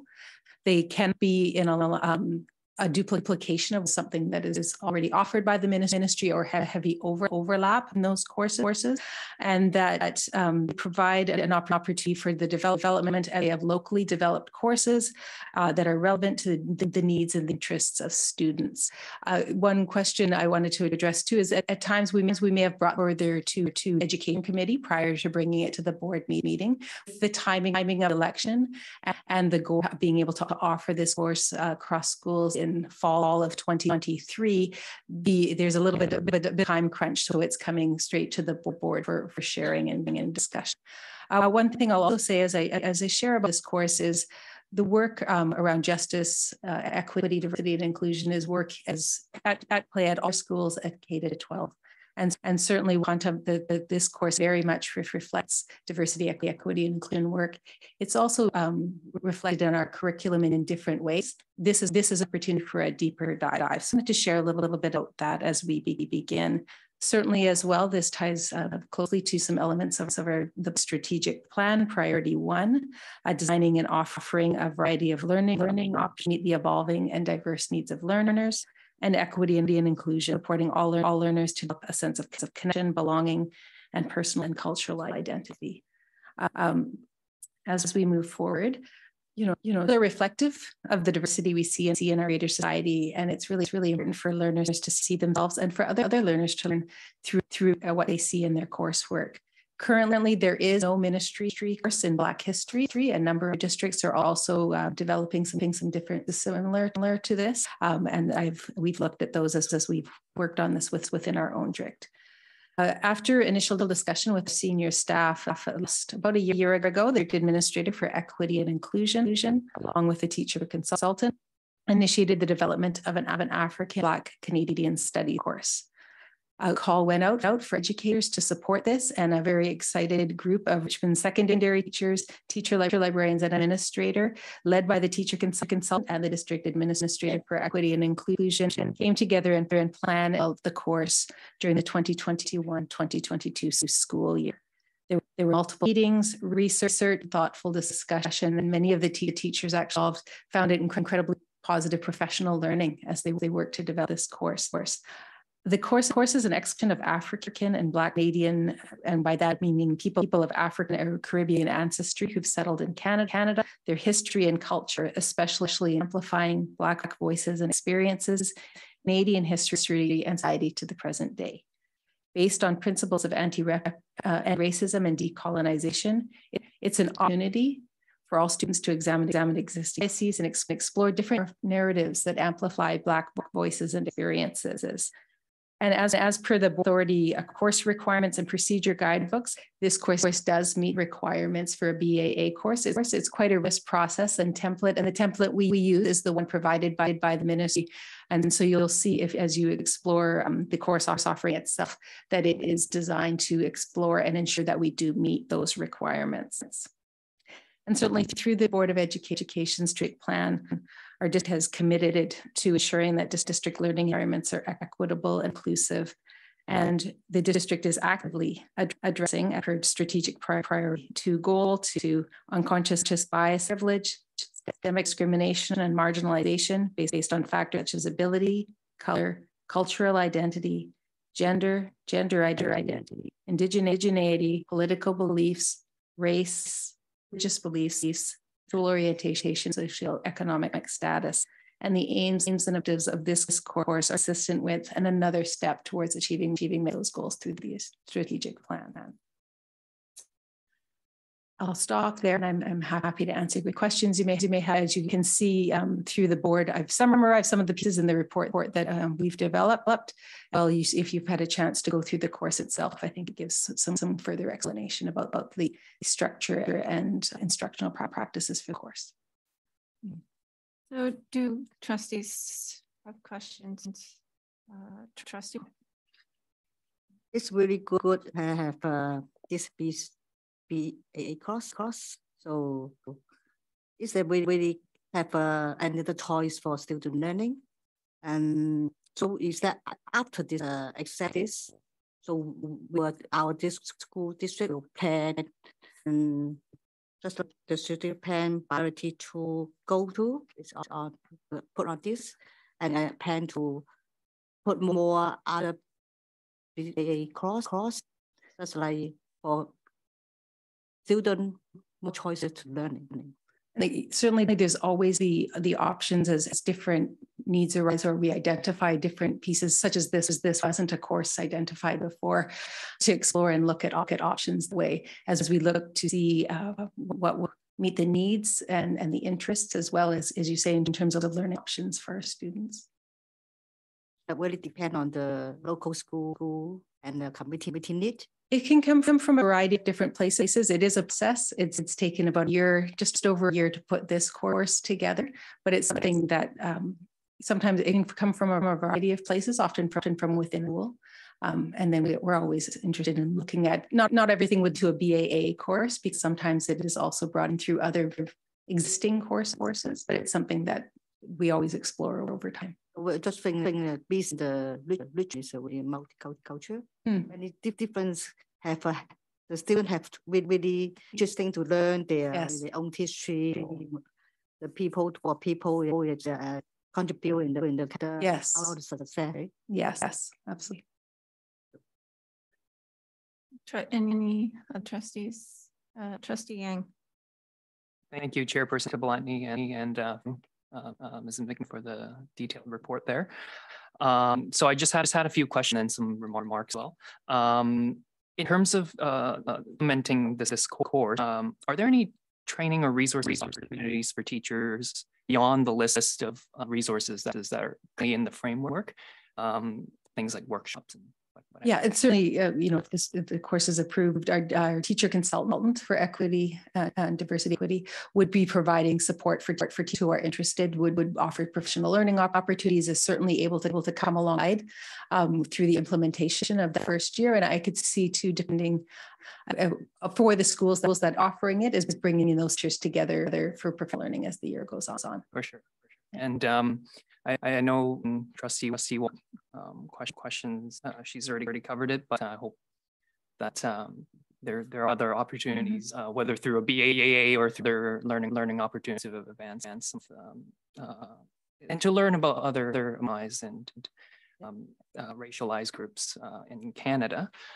Um, and, and just to be clear, be clear, the is offered through the Richmond, Richmond Virtual as well. well. It can, it can be an offering through Richmond Virtual School as well. I, I think no, I think that's fantastic. Because you know, uh, if if one school doesn't have enough uh, Yes, enrollment, that's right. then student, students can take, um, they have the have the option to take it through RVS, which is good access for them.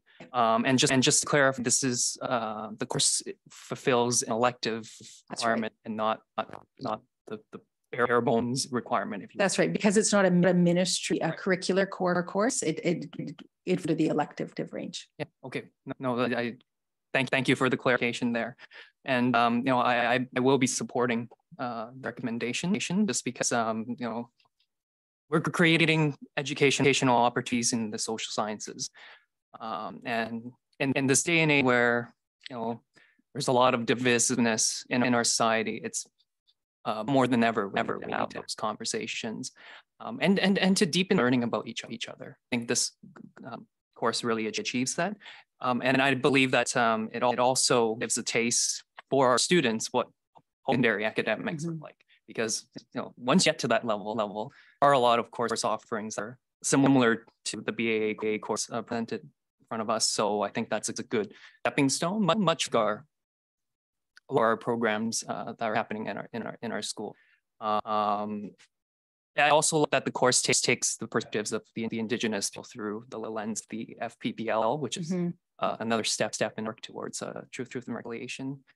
Um, and and um, lastly, I just wanted to say that um, you know, in this this journey of diversity, I feel I, I strongly believe that it's all about all ships rising together, and um, it's you know we're talking about you know, yes and um, and, and, you know, I, I, know there, there's voices that uh, will say yes, yes, but, or worse yet, but no. Um, but I, I just that, um, you know, in, in spirit of uh, achieving true diversity and, and meaningful diversity, um, this is the step that, that we have to take. We need to encourage, um, all marginalized group and lift all uh, marginalized group in this, this journey, and um, together we succeed. So I will be supporting this recommendation. Thank you. So Trustee Yang, I'm wondering then if you would like to, to really move the motion for the I can, oh, I'm, I'm happy to move it. And I, I uh, seconded by trust, trustee Sart. Are you wanting, wanting to make a comment? And I was just going to read the recommendation. And are you, are you seconding? Okay um, that the Board of Education to be attached newly developed board authority author authorized BA course, African and Black Canadian Studies 12 implementation, implementation in the 2023-2024 school year. And Trustee Sargent, did, did you have a comment? No, no. Are, are there any comments from trustees? Um, I just wanted to say, I'm so, in favor of this course. Uh, you know, um, we have, we have to rich um, uh, history with our uh, Latin Caribbean and African um, peoples, and um, enough enough is about it. And we even have, uh, I believe it was, was Deas, Deas Island was named after a black uh, Canadian businessman. And and just there's just not enough known about it their contributions to canada. And i think, think it's going to be an amazing course. I would love to have had this on when i was in school school.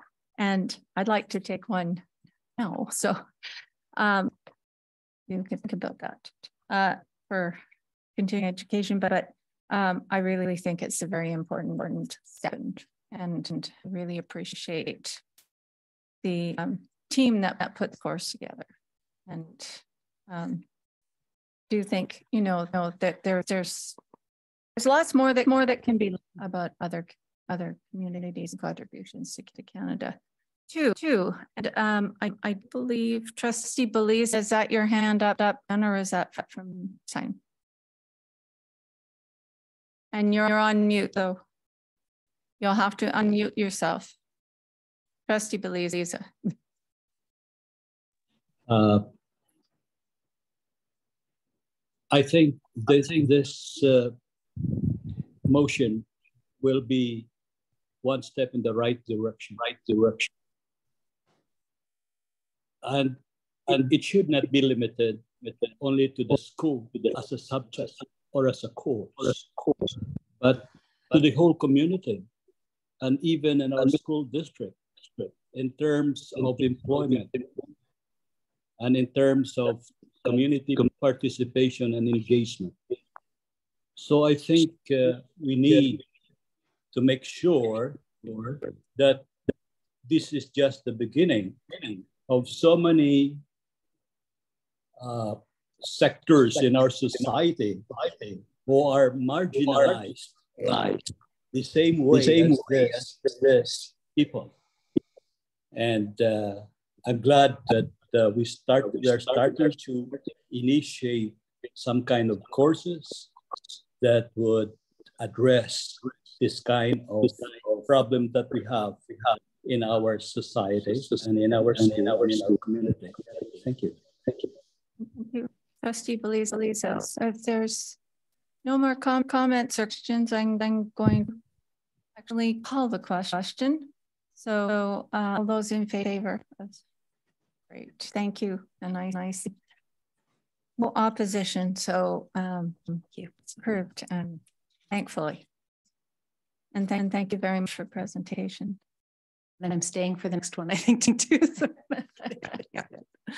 um, and uh, next, next on the agenda is another course that um, the Indigenous graduation requirement course, and we're just receiving a report.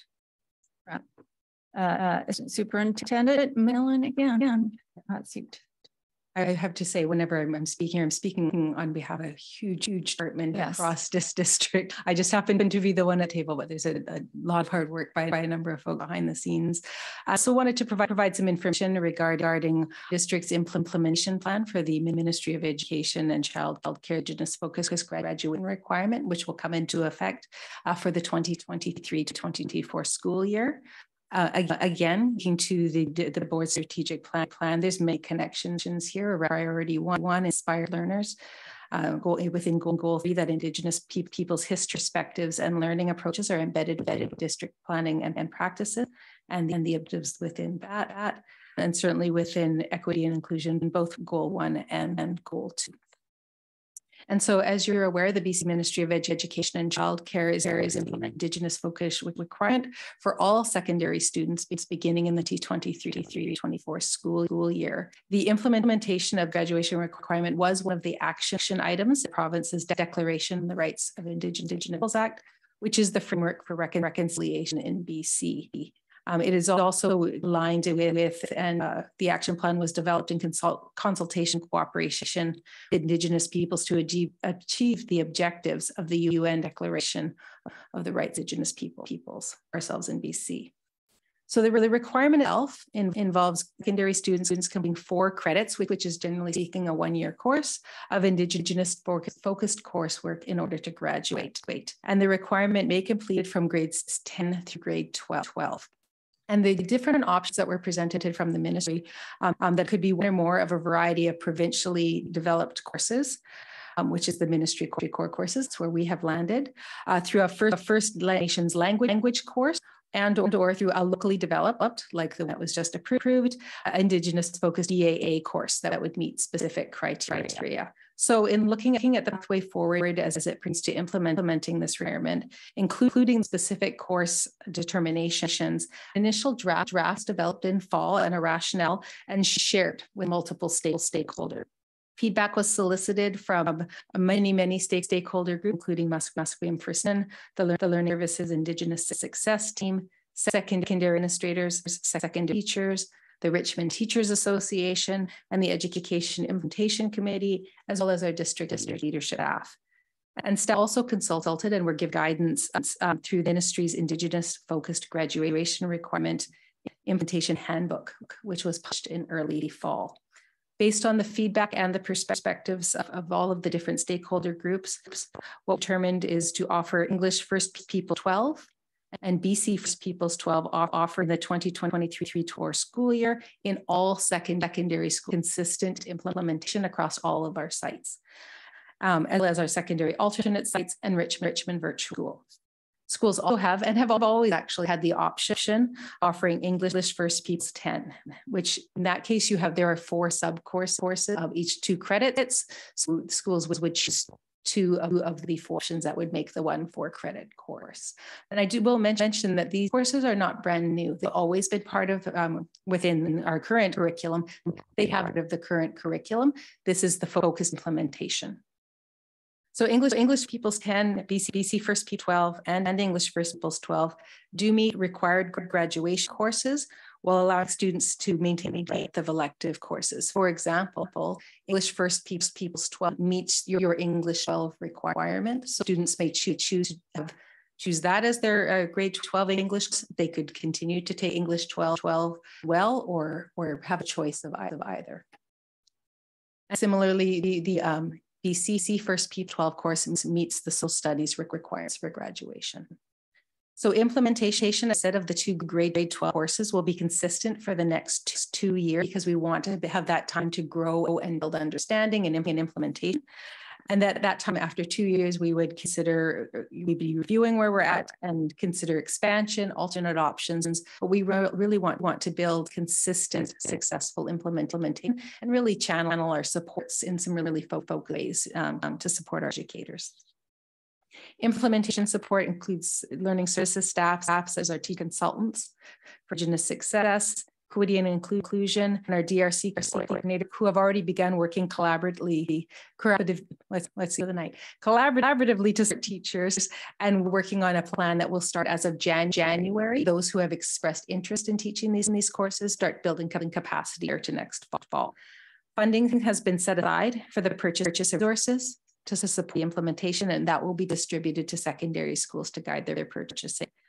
Additional funds for prof professional to support release time and other co costs will be utilized this year, with additional funding support needs to be considered for 2023-24 annual budget. We've also spoken with human resources and have established that there will, will be no minimal, minimum enrollment requirement courses.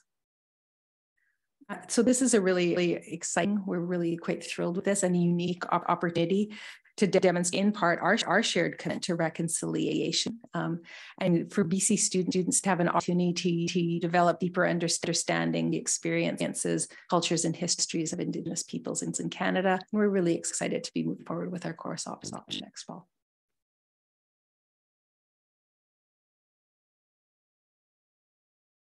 Trustee Sargent just want to reflect for a minute. I'm thinking about uh, my time at the K to 12 collaborate table. Provincially, Debbie Jeff Jeffries is on my mind right now, now where she talked about, about this. And it was many years, years ago that the hope and the dreams of FNESC was that, you know, one day this would be a requirement. People had so many questions and concerns. And then people started to learn and understand and and, and really take in what FNESC was really trying to say.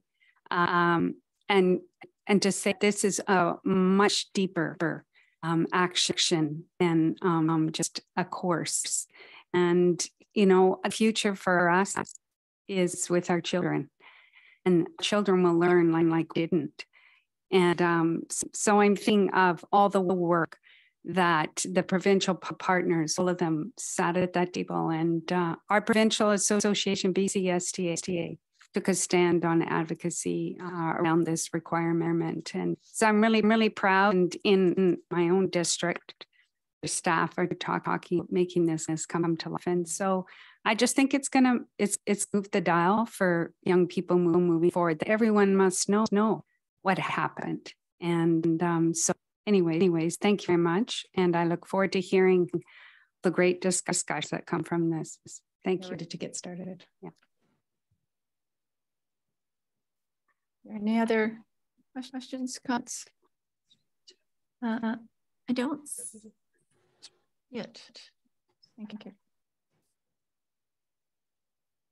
Okay, Trustee Belleza, do you have? Yes, I, sorry, I, I lost, up and down, uh, yeah, there's something wrong uh, with my uh, signal here. I but think anyway, can you hear me? Can you hear me? Can you guys hear me? Trustee Belleza? Yes. Do you have can a you hear comment? me?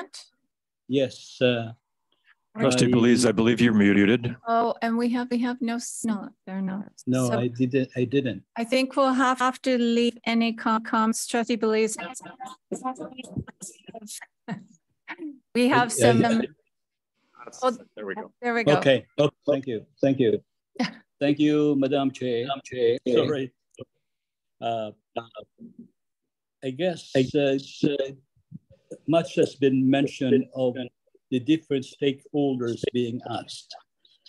Have we considered students as primary stakeholder? Have we asked them for some kind of an input with regard to this subject? And uh, second comment would be, uh, you know, this is part of the uh, equity and uh, inclusion priorities. But is this subject what, what it also try to inspire the learners concerned? And would this improve because during, because I think in the previous in the years, previous we have a problem with the graduation, graduation rate uh, of the, the, the, uh, the indigenous members of our community, of our schools. Would this improve the graduation rate or the student achievement? Achievement. Yeah. Thank you.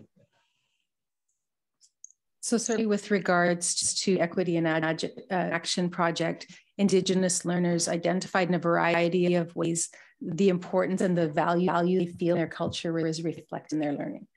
And certainly they that, that spoke to what they see in their classrooms, what they see on walls, and certainly they're learning about.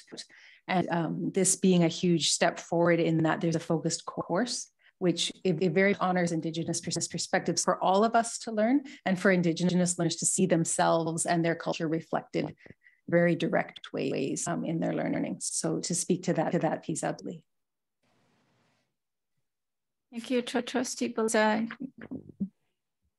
I was going to say uh, myself that, you know, I, am really excited about this course.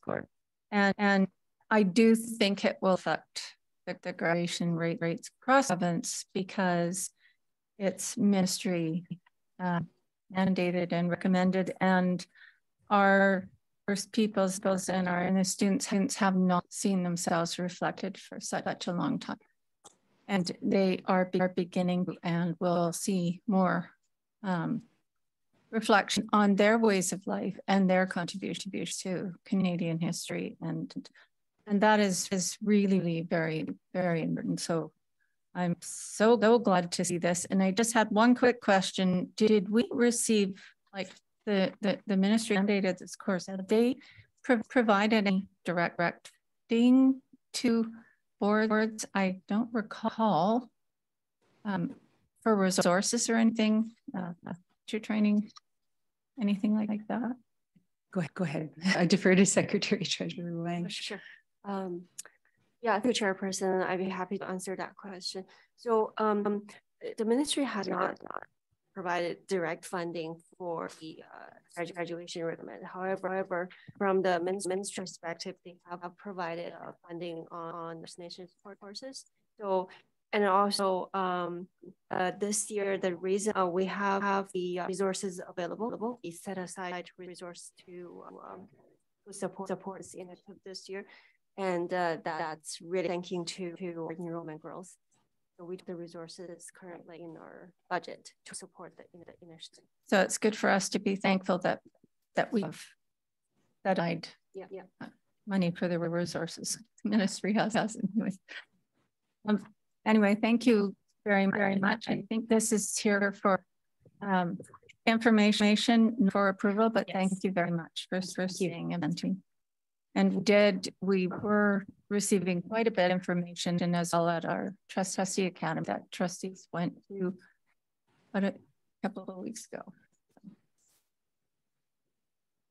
Okay, are there, um, look, looking, there's another uh, point where we have question from uh, public on, on tonight's agenda and uh, Chair, Chairperson, there are no uh, question, question at this point. Thank you. Thank you and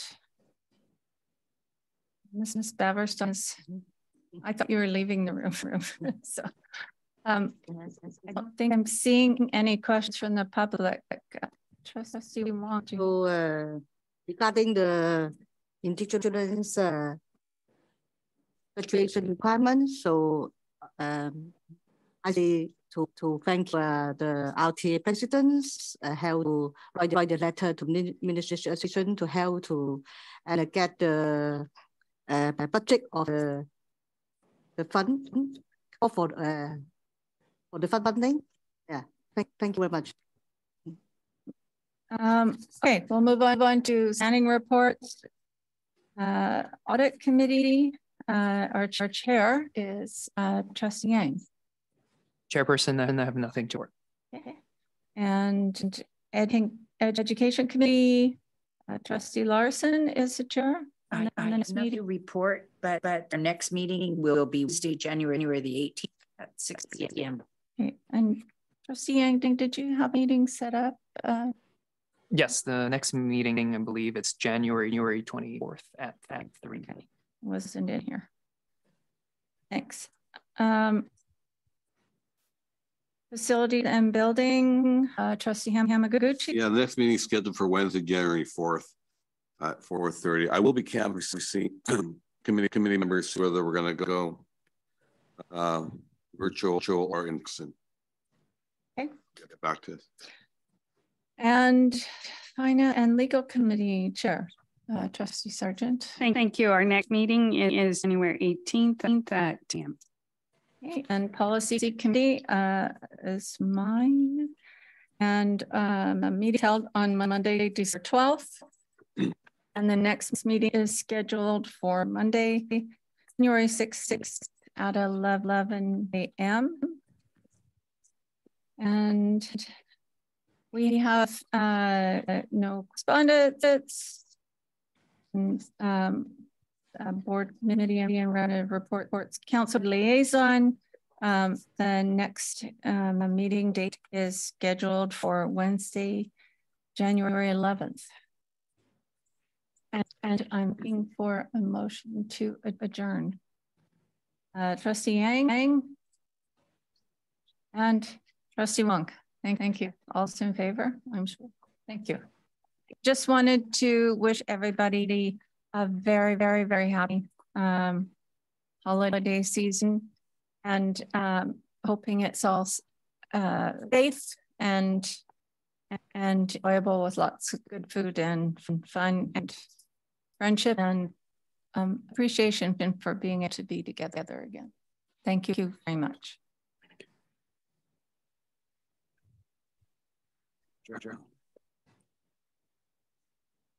Happy New Year too.